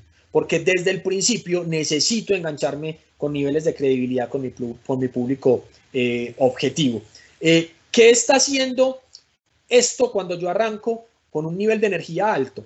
Cuando yo arranco con un nivel de energía alto, estoy mandando un mensaje de empoderamiento, estoy mandando un mensaje de credibilidad eh, y de ahí en adelante la presentación debe, debe fluir como tal.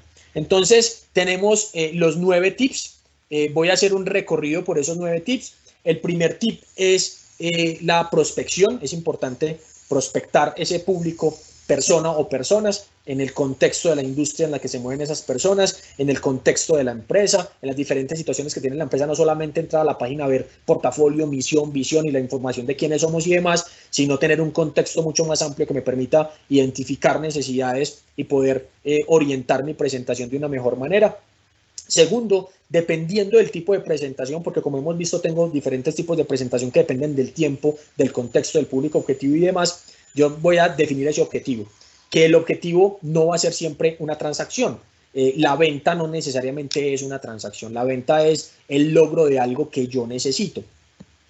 La tercera es la presentación, eh, la presentación donde la recomendación es, dependiendo del contexto, hay contextos en los que es posible que no sea tan, tan, tan viable, pero en términos generales, cuando tengo una presentación planeada, eh, presentar, no, arrancar la presentación no con mi nombre y con la presentación de, de, toda el currículum vitae de la, de la persona que está presentando, sino arrancar con el tip número 4, que es un dato de impacto, o con el tip número 5, que es concentrarme en, en, un storytelling o contar una historia que atraiga eh, al, al interlocutor. El tip número 6, entonces, es el tiempo.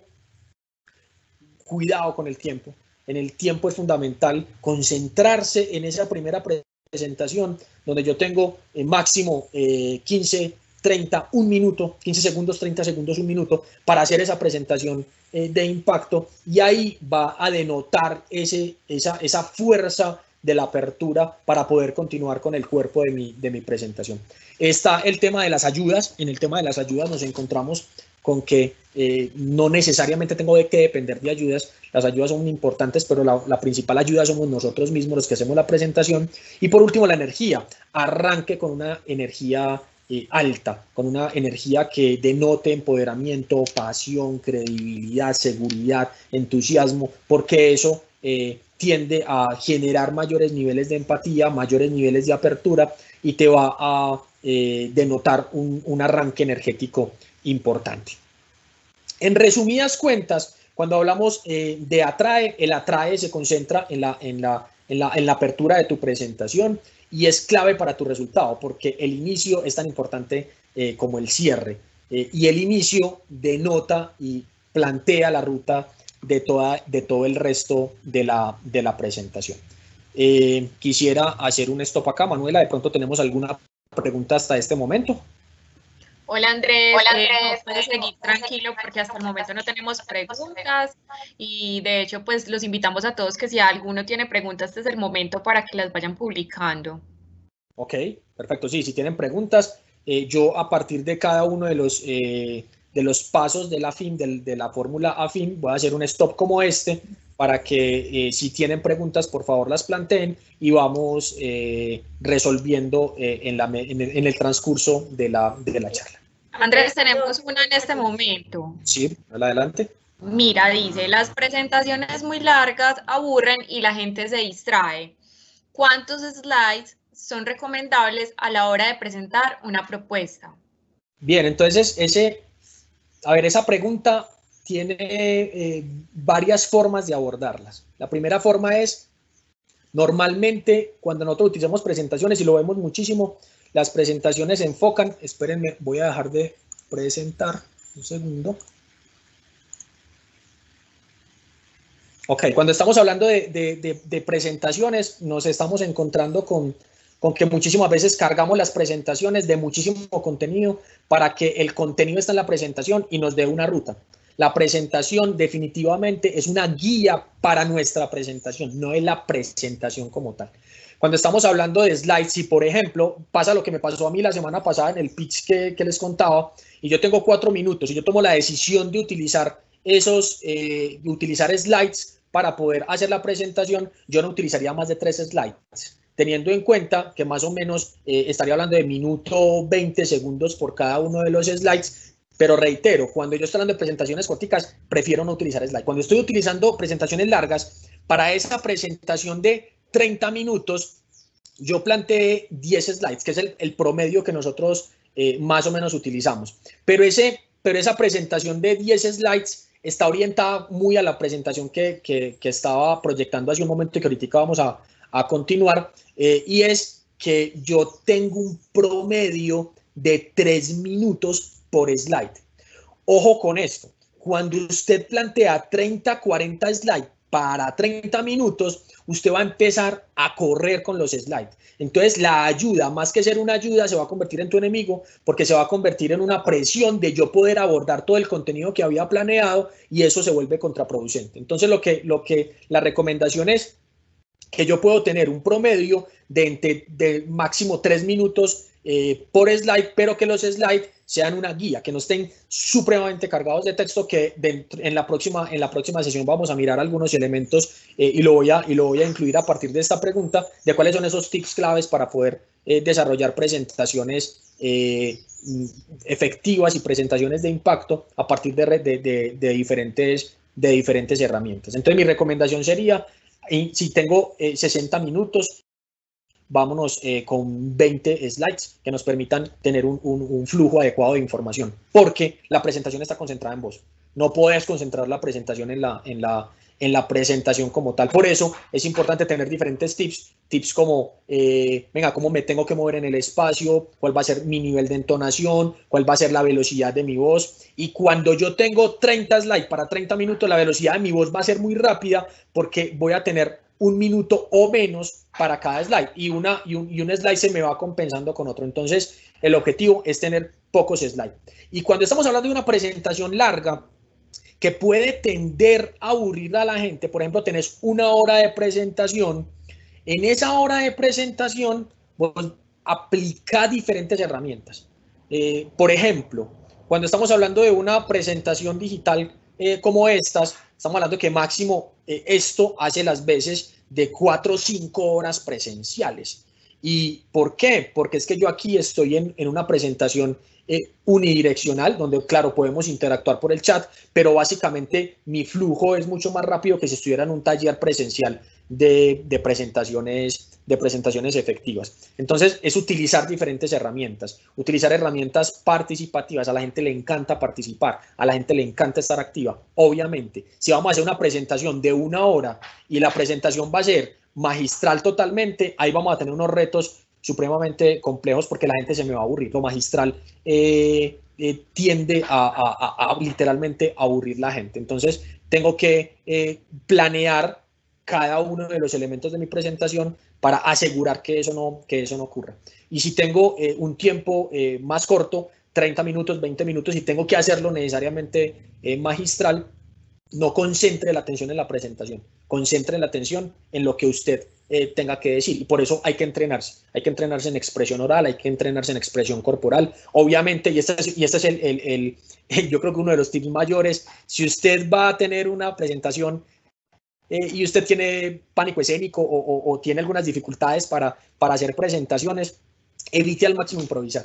O sea, si usted, va, si, usted tiene, si usted va a improvisar, la improvisación le va a sacar a flor de piel todas esas, todas esas cosas que, que usted tiene, que, ah, que es que yo me bloqueo cuando, cuando hago una presentación y, me da miedo, me pongo a temblar, me pongo a sudar, me, pongo colorado, colorada, me, me pasan ciertas cosas. Cuando usted está improvisando, eso se va a maximizar.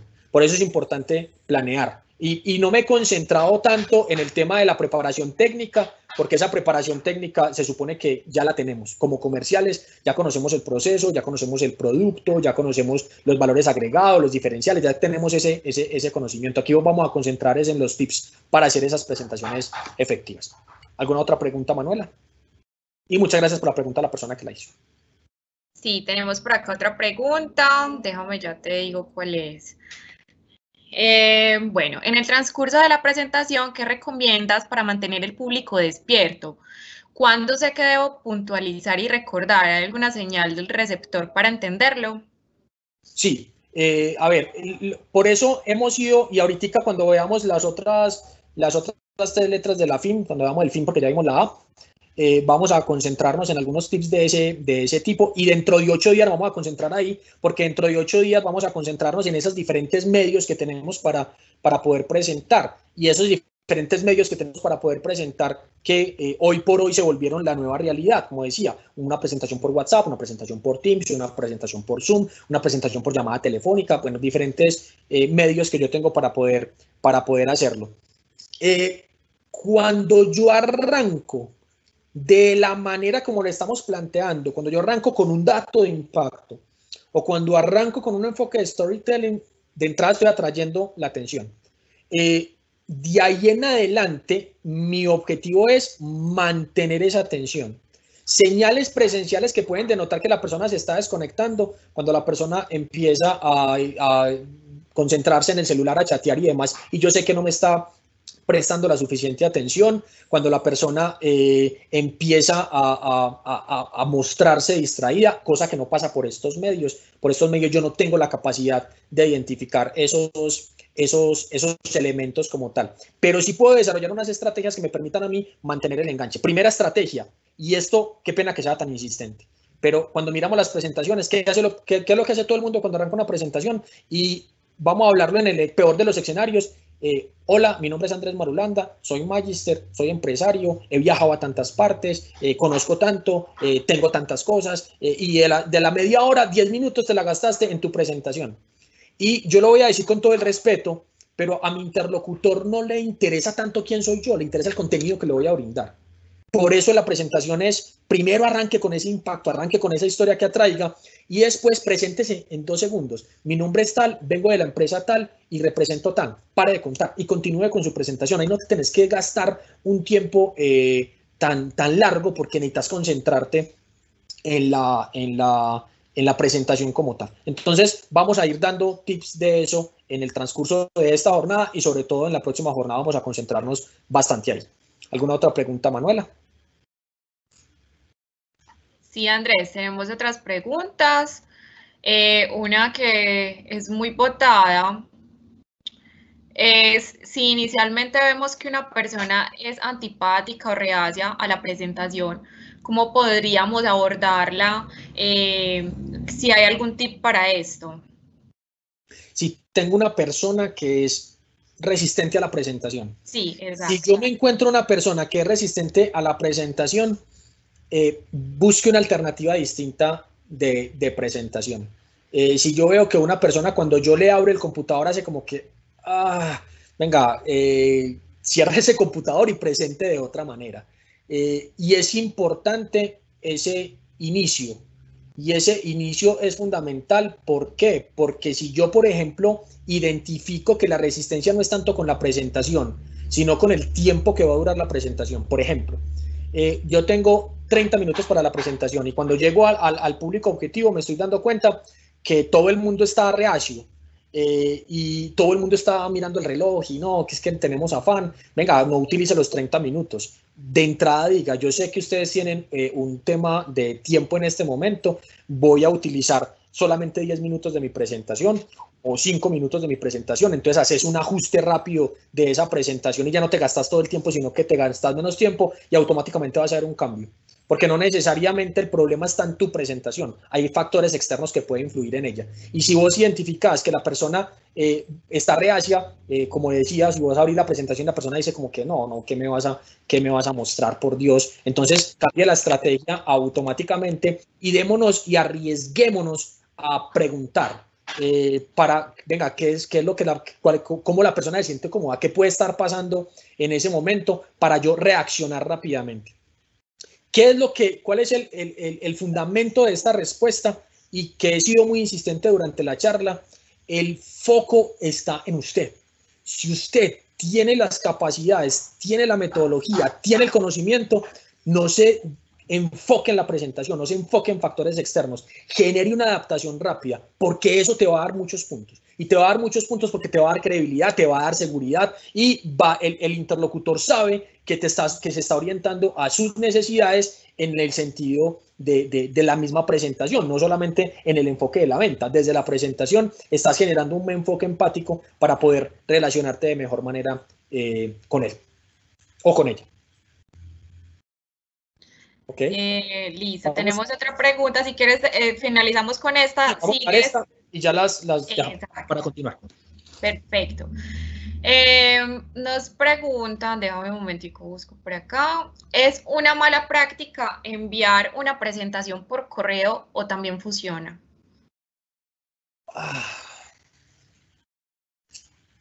Yo no soy tan amigo de las presentaciones por correo. Bueno, claro, obviamente, si yo mando un brochure por correo electrónico o mando eh, un, preámbulo por correo electrónico, está bien, pero tengo que mirar qué estoy mandando si voy a mandar un correo electrónico simplemente con una información eh, escrita, eh, estoy dando un tiro al aire porque eh, es posible que la persona no lo lea pues porque, no, porque la información no lo engancha, o si voy a generar una presentación con un hipervínculo que sea atractivo, yo creería que no está mal, pero tengo que evaluar muy bien cuál es el mensaje y la herramienta que voy a utilizar.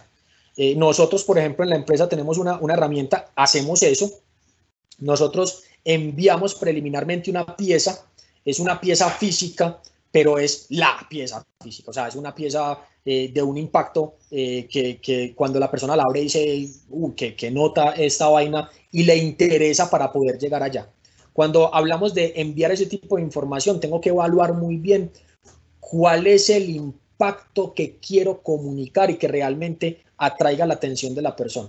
Porque si lo miramos en enfoque comercial, a todo el mundo nos llega N cantidad de correos, N cantidad de correspondencia, N cantidad de cosas. ¿Y qué seleccionamos cuando vamos a mirar eh, de un montón de correos? Eh, seleccionamos el mensaje, el, encabezado del asunto que me enganche, o sea, que yo me interese por, por, por, abrirlo, que el contenido sea, eh, que cumpla con tres características, que el contenido sea eh, pertinente, que el contenido sea bien diseñado y que ojalá el contenido sea interactivo. O sea, que el contenido llame a una acción, que el contenido permita activar una acción como tal. Entonces, eh, nosotros lo, lo, lo, lo, desplegamos, para nosotros esa estrategia ha sido supremamente ganadora, pero esa estrategia le dedicamos seis meses para desarrollar la pieza y para que esa pieza tuviera todas las características para que uno diga, y, y, con, y con, pruebas piloto y demás. O sea, venga, cuando la persona recibe la pieza y la, y la mandábamos a personas cercanas, ¿qué, qué te hace sentir? ¿Qué, qué, qué interpretas de la pieza? ¿Qué hay que mejorar? Porque ahí tengo que ser eh, muy meticuloso. Si yo voy a mandar un portafolio eh, plano, común, cotidiano, que incluso pueda llegar a ser aburrido desde el mismo diseño, eh, yo creo que es más que es más contraproducente. Y cuando la persona llega, va a encontrar un nivel de resistencia eh, superior. Entonces, bacán utilizar esa, esa, herramienta, pero que cumpla con esas tres características, que el contenido sea pertinente para, la para el público objetivo, que tenga un, un diseño atractivo, el diseño es, es, fundamental. Y tercero, que ojalá tenga algún nivel de interactividad, que lleve a la acción. Eso, eso, es, eso es clave en, en, en el proceso de mandar presentaciones, presentaciones previas. ¿Por qué? Porque es que eso te abre la puerta. O sea, la estrategia que nosotros utilizamos es, es no llegar en frío, sino llegar en tibio. Ya me conocen, ya vieron que hay, una, hay, hay, un impacto y obviamente eso te va a generar una expectativa mayor porque eso te va a llevar a que vos tenés más, eh, las personas van a tener más expectativas con respecto a tu, a tu presentación como tal. Muy bien, voy a continuar. Disculpen un segundo, vamos a mirar si por aquí me va a permitir eh, ampliarme. Ok, ahí sí me permitió, ¿cierto, eh, Manuela, que están viendo pantalla completa? Ya está bien, bien. señor. Perfecto, muchísimas gracias. Bueno, problema solucionado. Ahora, ¿qué hubiera pasado si esta vaina no funciona? Porque eh, hicimos un proceso preliminar de, de, validación y demás, y hasta dos minutos antes de la presentación todo estaba funcionando bien, eh, pero resulta que se cayó el, el, Teams, la capacidad no dio lo suficiente. Eh, para Paola, Manuela y demás que también tienen la presentación, eh, tampoco funcionó. No podemos tener presentación. No pasa absolutamente nada. La presentación somos nosotros. El, el tema tiene que continuar. No puedo depender de factores externos. Bien, entonces estamos hablando de focaliza. Eh, ya pasamos a apertura. Focaliza hace parte del cuerpo de la presentación.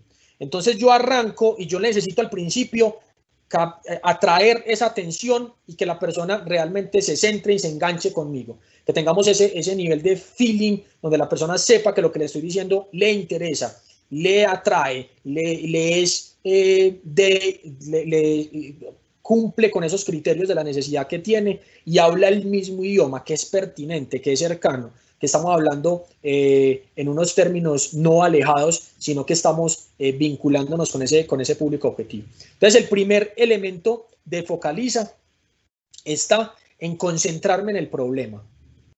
¿Cuál es el problema que voy a abordar? Y ese problema es concentrarme al mayor detalle pero en una sola cosa. Evitemos al máximo, cuando estamos hablando de una presentación, de concentrarme en diversas ideas. Dos razones para eso. La primera, como presentador, si tenés diferentes ideas, es muy fácil que estés saltando de una idea a otra y, el, y realmente la idea no se transfiera de la, mejor, de la mejor manera, porque estás mezclando unas cosas con la otra, con unas cosas con otras. Entonces aquí es, concéntrese en el problema que usted está presentando para hacer esa, esa presentación y que es el eje bajo el cual a usted le abrieron las puertas para hacer la, la, presentación como tal. Entonces hay que escribir con el, mayor de nivel, con el mayor nivel de detalle el problema, esa situación o idea que estás, que estás planteando, ser muy específico, ser muy puntual, estar muy seguro y estructurar la idea de manera clara y pertinente a la persona a las cuales estás dirigiendo eh, tu información. Es decir, que realmente eh, lo importante eh, esté, planteado. Yo les voy a pedir un, un momento, me voy a mover de acá, que yo estoy en una finca y acá eh, cerca están haciendo un proceso con taladro. Entonces les voy a pedir un momento, yo me voy a mover de donde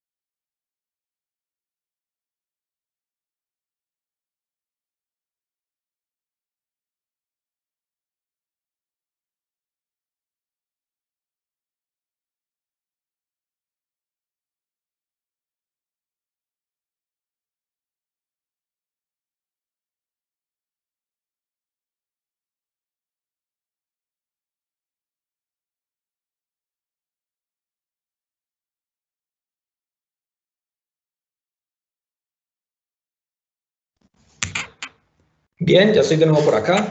¿Están escuchando bien? ¿Viéndome bien? Súper bien. Perfecto, qué pena con ustedes. Me muevo de donde estaba porque tenía un reto allá con, con una persona que estaba eh, taladrando. Entonces, eh, estábamos planteando el tema del problema. El problema es clave porque es lo que me permite a mí realmente identificarme. ¿Qué estoy haciendo yo en la parte preliminar? Estoy iniciando una presentación de impacto. Y esa presentación de impacto obviamente trae elementos ya de este problema, pero cuando estoy hablando de focaliza, ya abrí la presentación, ya hice la apertura, me concentro en el problema. El problema es la base bajo la cual yo voy a desarrollar mi presentación. Y esa base que, en la cual voy a desarrollar mi presentación se concentra también y se complementa también con ese con este tip 2. Y este tip 2 es, yo planteo el problema y planteo cuáles son las soluciones que tengo para ese problema. Esa solución debe ser clara, debe mostrar el valor agregado, debe llegar, llevar a la persona a identificar cómo mi propuesta soluciona ese problema. Ojo, ese problema debe ser eh, claramente identificable por, y, eh, la persona tiene que identificar con ese problema. Por eso es importante el tema de prospección, porque no todos nuestros prospectos, y como comerciales lo sabemos, tienen los mismos problemas. tienen necesidades similares, pero esas necesidades no se fundamentan en los mismos problemas. Por eso, si yo tengo un discurso predeterminado a partir de un guion, ahí voy a tener un reto porque a unas personas les va a aplicar y a otras personas no les va a aplicar. Cuando yo hago una adecuada prospección, sé que voy a llegar con un problema que es que, con el cual la, empresa, persona o personas a las que les estoy haciendo la, la, presentación se identifican como tal. Y cómo voy a solucionar ese problema que obviamente está dentro de mi alcance y que le agrega valor al interlocutor. Estos dos elementos son fundamentales en Focaliza porque empiezan a engancharme el proceso de, el proceso de presentación. Ya tengo una apertura adecuada, automáticamente llego al grano. Pero ese llegar al grano tiene varios elementos que tengo que tener en cuenta. Y es el siguiente tip. El tip número tres es la emoción. Ojo con esto que vamos a plantear, porque esto que vamos a plantear es muy importante dentro de Focaliza. Normal, cuando estoy hablando de plantear el problema, cuando estoy hablando de plantear la solución, debo seguir una estructura de comunicación del ser humano. ¿Y qué es una estructura de comunicación del ser humano? Una estructura de comunicación del ser humano es cómo el ser humano interactúa con otros para poder generar esa apertura que nosotros necesitamos. Y cuando estamos hablando de hablar del problema y de la solución, nos estamos yendo, podemos irnos a un tema meramente racional. Y es decir, vea, usted tiene un problema de productividad, mi solución es mi modelo de productividad, ¿cierto?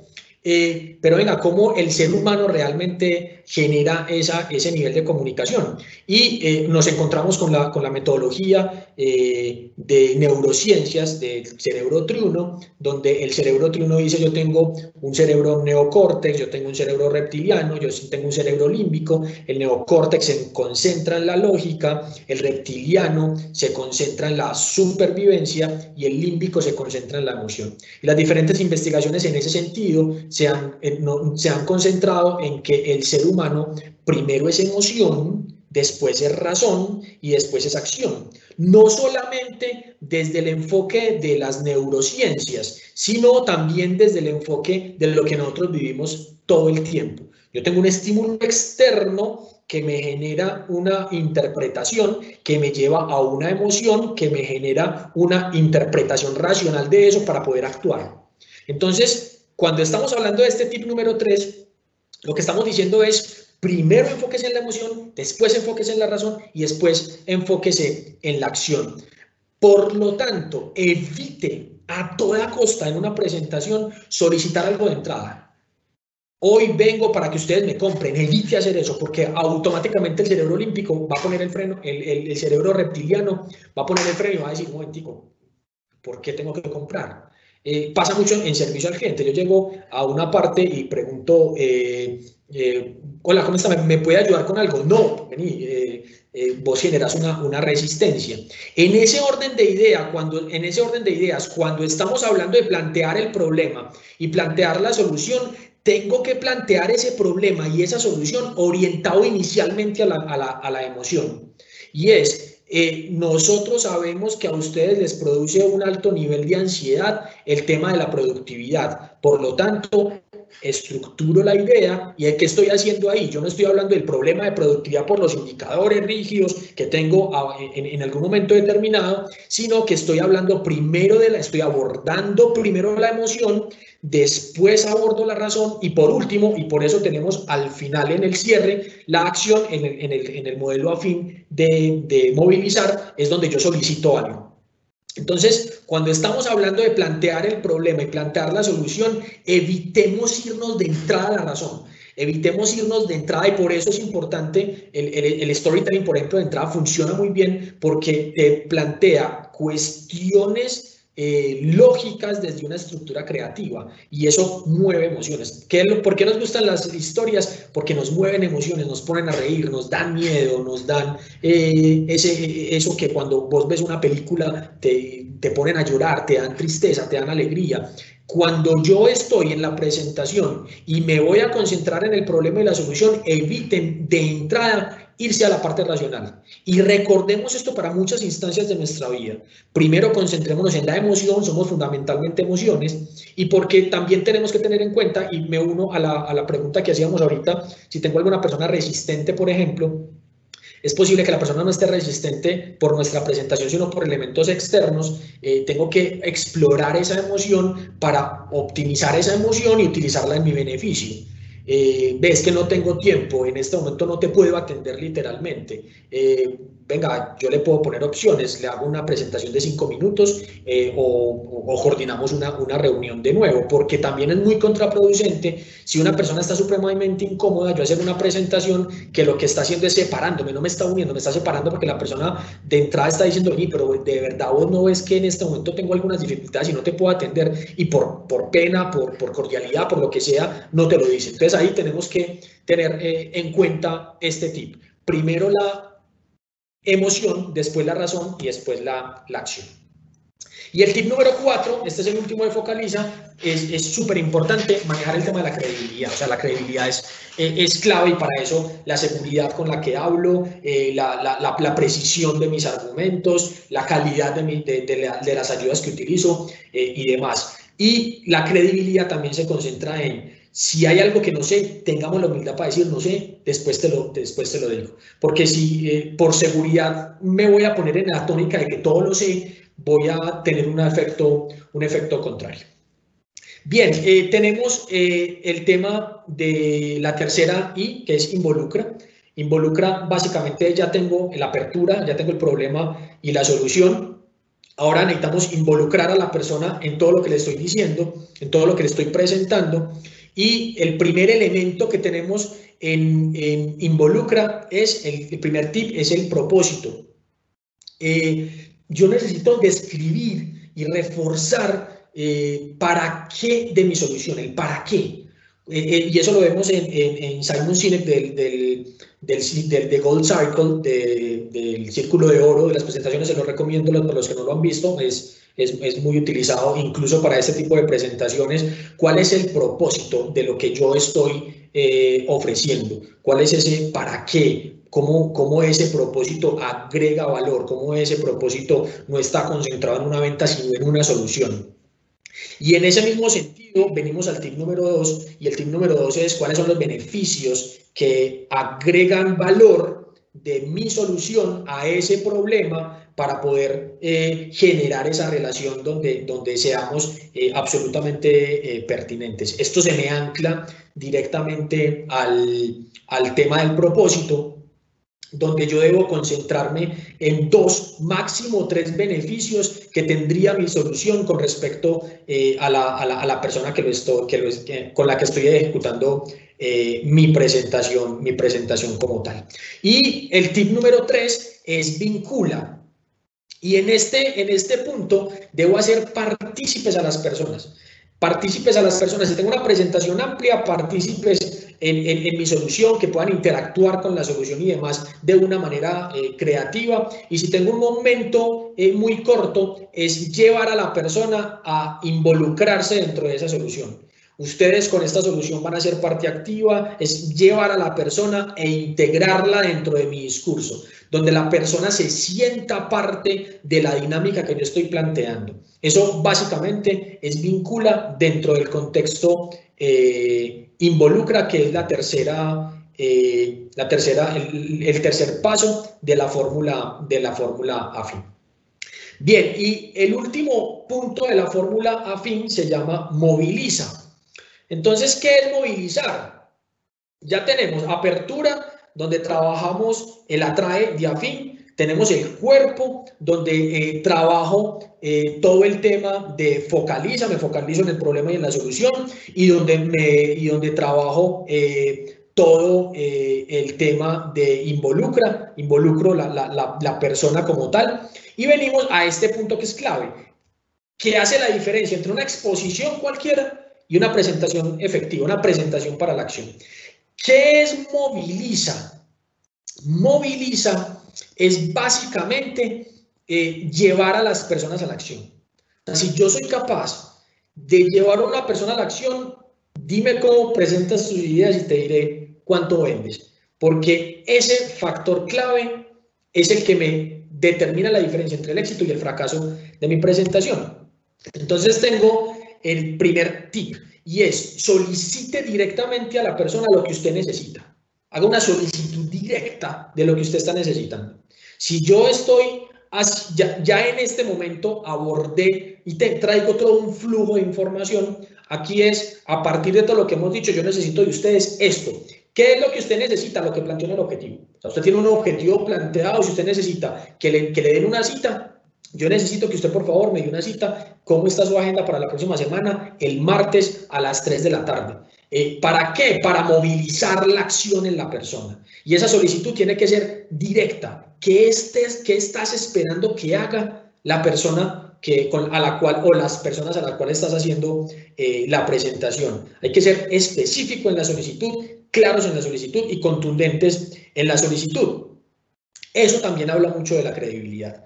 Eh, el segundo tip que tenemos es en marca y defina eh, en la acción, en lo que usted está necesitando, qué es lo que, que, todos los elementos de lo que usted espera. Si usted está esperando una cita, como lo planteaba hace un momento, si usted solicita la cita, enmarque esa cita, dele todas las condiciones para la que la persona pueda tener eh, el contexto y pueda movilizarse hacia, porque es más fácil que la persona te diga, no, yo no puedo el martes a las 3 de la tarde, pero vení, puedo el miércoles a las 8 de la mañana. Vos estás generando una movilización de acción.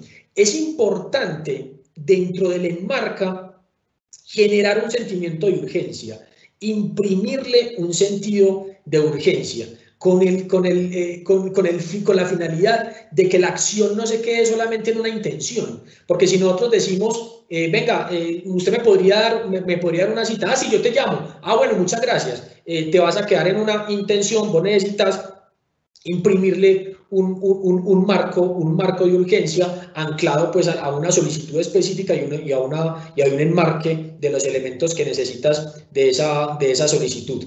Eh, esa, ese sentido de urgencia tiende a movilizar la acción como tal nos lo encontramos mucho, por ejemplo, en, esas promociones que te llaman y te dicen, eh, tengo el 50% de descuento, pero tiene que tomar la decisión ya, porque en una hora se acaba la promoción, ¿cierto? No, no, me estoy yendo hasta allá, pero eso es un ejemplo de inyectarle urgencia para llevar a una, para llevar a una acción.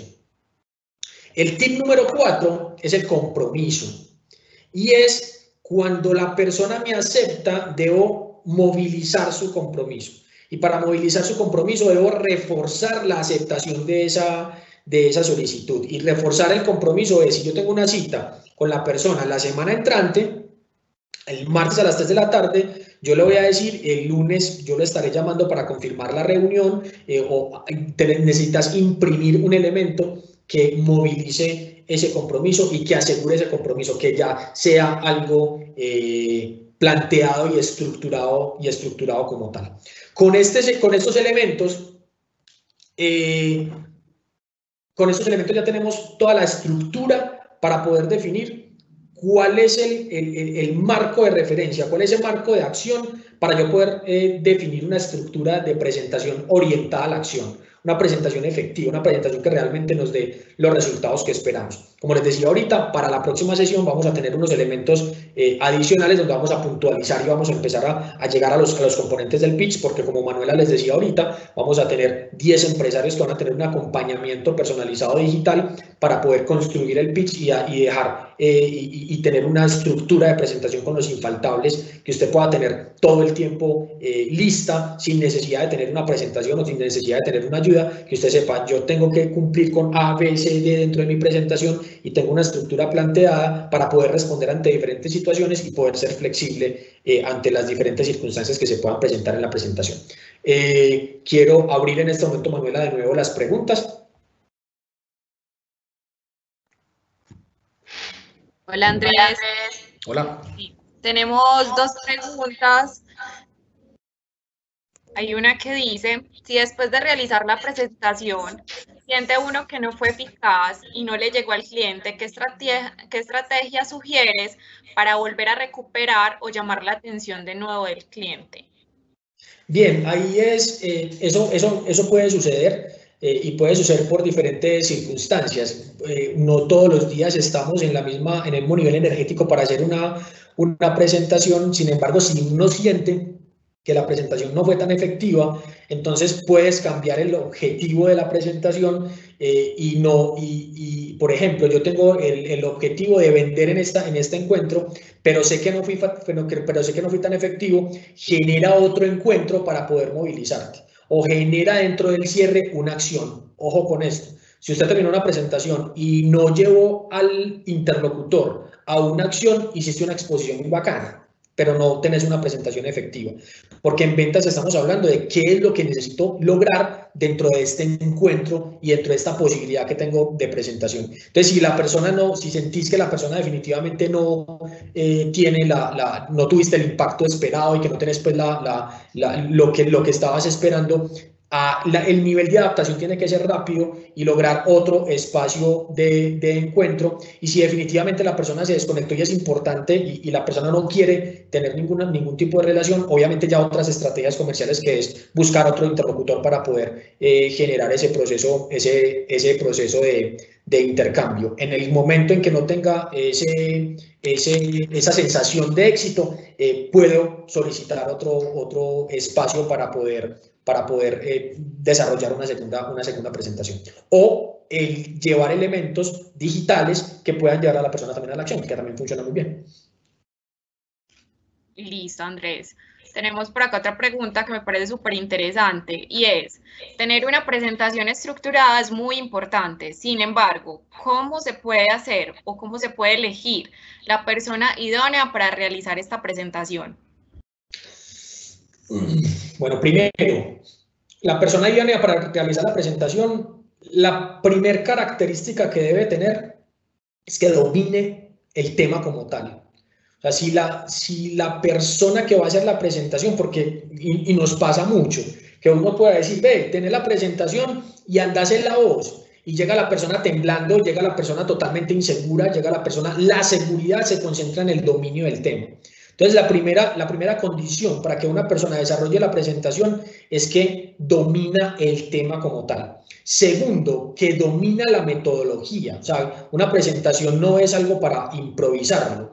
Recuerden lo que decía ahorita, yo podría improvisar a partir de la experiencia, pero la experiencia es entrenamiento. Entonces, una improvisación como tal, después de yo tener el dominio completo del tema, realmente no es una improvisación, es un proceso de adaptación a un tema eh, de, presentación. Entonces, lo primero que la persona domine, el, eh, el tema, que tenga dominio del tema, que maneje la metodología y que tenga el contexto completo de a dónde se va a enfrentar.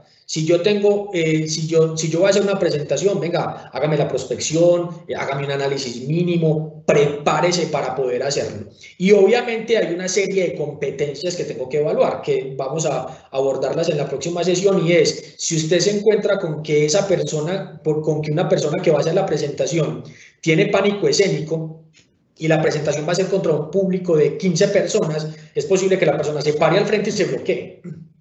Yo tengo que tener en cuenta ese criterio para poder definir si esa persona puede hacerlo o no, que tenga unas competencias para poder enfrentarse al público que se va a poder enfrentar, porque nos encontramos claramente personas que tienen competencias para un face to face, para un grupo pequeño, una junta directiva, un comité gerencial, comité administrativo o para un grupo de 100, 200 personas. Eh, una persona que sea muy bueno haciendo presentaciones con pocas personas no significa que es muy bueno haciendo presentaciones con muchas personas. Entonces, esas competencias también las tengo que evaluar. Listo, perfecto.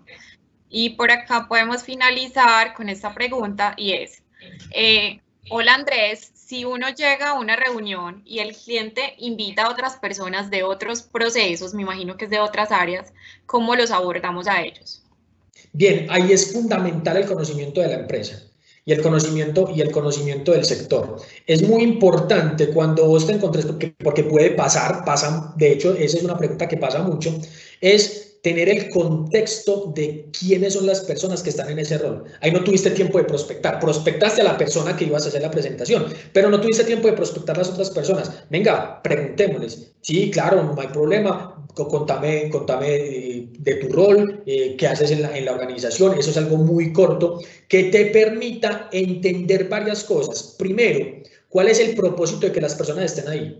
Me explico, es posible que una persona esté ahí básicamente porque toma la decisión de compra y yo me iba a reunir con el que no toma la decisión de compra. Por ejemplo, a mí me pasa, a mí me pasa mucho. Yo me reúno con mi negocio de e-learning entonces yo me reúno con una persona de la empresa y esa persona invita a las personas que me van a comprar. Cuando yo tengo el contexto general, ya puedo involucrarlas dentro, de, dentro del proceso, pero tengo que asegurarme que las tengo que involucrar. Preguntarles abiertamente y hacer un proceso de adaptación rápido funciona muy bien. Es posible que tengas que hacer algunas adaptaciones de la presentación porque ya no va a ser exclusivamente teniendo en cuenta este, pero en tu retórica vas a empezar a tener en cuenta el resto de los roles. Fundamental, ojo, buena memoria buena memoria con los nombres y buena memoria con los roles, porque en la medida que vos estés integrándolos dentro, del, dentro de tu discurso, va a ser mucho más ganador para ellos. Súper, muchísimas gracias Andrés. Eh, bueno, ya les queremos comentar acerca de los eventos que vamos a tener próximamente. Queremos eh, recordarles que el próximo, la segunda sesión de este taller comercial va a ser el 14 de julio de 10 a 12 eh, si tú nos puedes dar una breve, un breve resumen, Andrés, de qué vamos a encontrar en este segundo taller, porfa, eh, escuchamos. Claro que sí, en el, en el, siguiente taller vamos a mirar ya elementos de presentación, tips prácticos para presentaciones por diferentes eh, medios presenciales, digitales y demás vamos a, vamos a entregar una, una, herramienta interactiva para que ustedes tengan eh, una síntesis y puedan soportarse para construir su speech y el eje central de la siguiente sesión va a ser la construcción de, del pitch a partir de la fin. Vamos a generar toda la ruta metodológica para, para tener un pitch y vamos a obviamente a entregar los 10 cupos para la asesoría personalizada de construcción de pitch eh, con, con 10 empresarios que estén participando dentro del proceso. Entonces, eh, invitados, esta es una primera parte, la segunda parte eh, va a ser mucho más ampliada, vamos a mirar herramientas muy prácticas y realmente interesantes para ponerla, ponerlo a disposición del día a día de la actividad comercial y gerencial en, en cuanto a presentaciones efectivas y pitch. Súper, va a ser muy interesante para que estén muy pendientes entonces de la invitación que vamos a enviarles. A ti, Andrés, muchísimas gracias por estar hoy con nosotros, muy valioso todo tu conocimiento. Te vemos entonces, nos vemos contigo entonces en la, en la segunda sesión. Súper interesante estuvo todo. Eh, queremos recordarles lo que hablamos al principio y es tenemos abiertas las inscripciones para postularse al mercado afiliados es la feria virtual Más Amor, Más Amistad. Tenemos abiertas las inscripciones hasta el 10 de julio. Les dejamos el link para la inscripción aquí donde están las preguntas. También que tenemos eh, la charla de transformación digital a las 9 de la mañana el próximo martes 30 de junio para que también estén con nosotros. Vamos a conocer el nuevo beneficio de afiliados que es el acceso a, eh, virtual a la biblioteca. Es una biblioteca líder a nivel mundial, entonces van a tener acceso a mucho contenido, a muchos libros muy interesantes. Y por último, eh, para que recuerden que tenemos un espacio exclusivo para formación virtual y eh, si no han recibido de pronto el link para acceder a, este, a estos cursos o a este material, pueden solicitarlo en afiliados.cámaramedellín.com. Muchísimas gracias a todos los que asistieron el día de hoy. Eh, súper conectados y pendientes del correo que ahí es donde enviamos las invitaciones y nos vemos entonces en el próximo taller. Gracias Andrés. Muchísimas gracias a todos. Nos vemos el 14 de julio.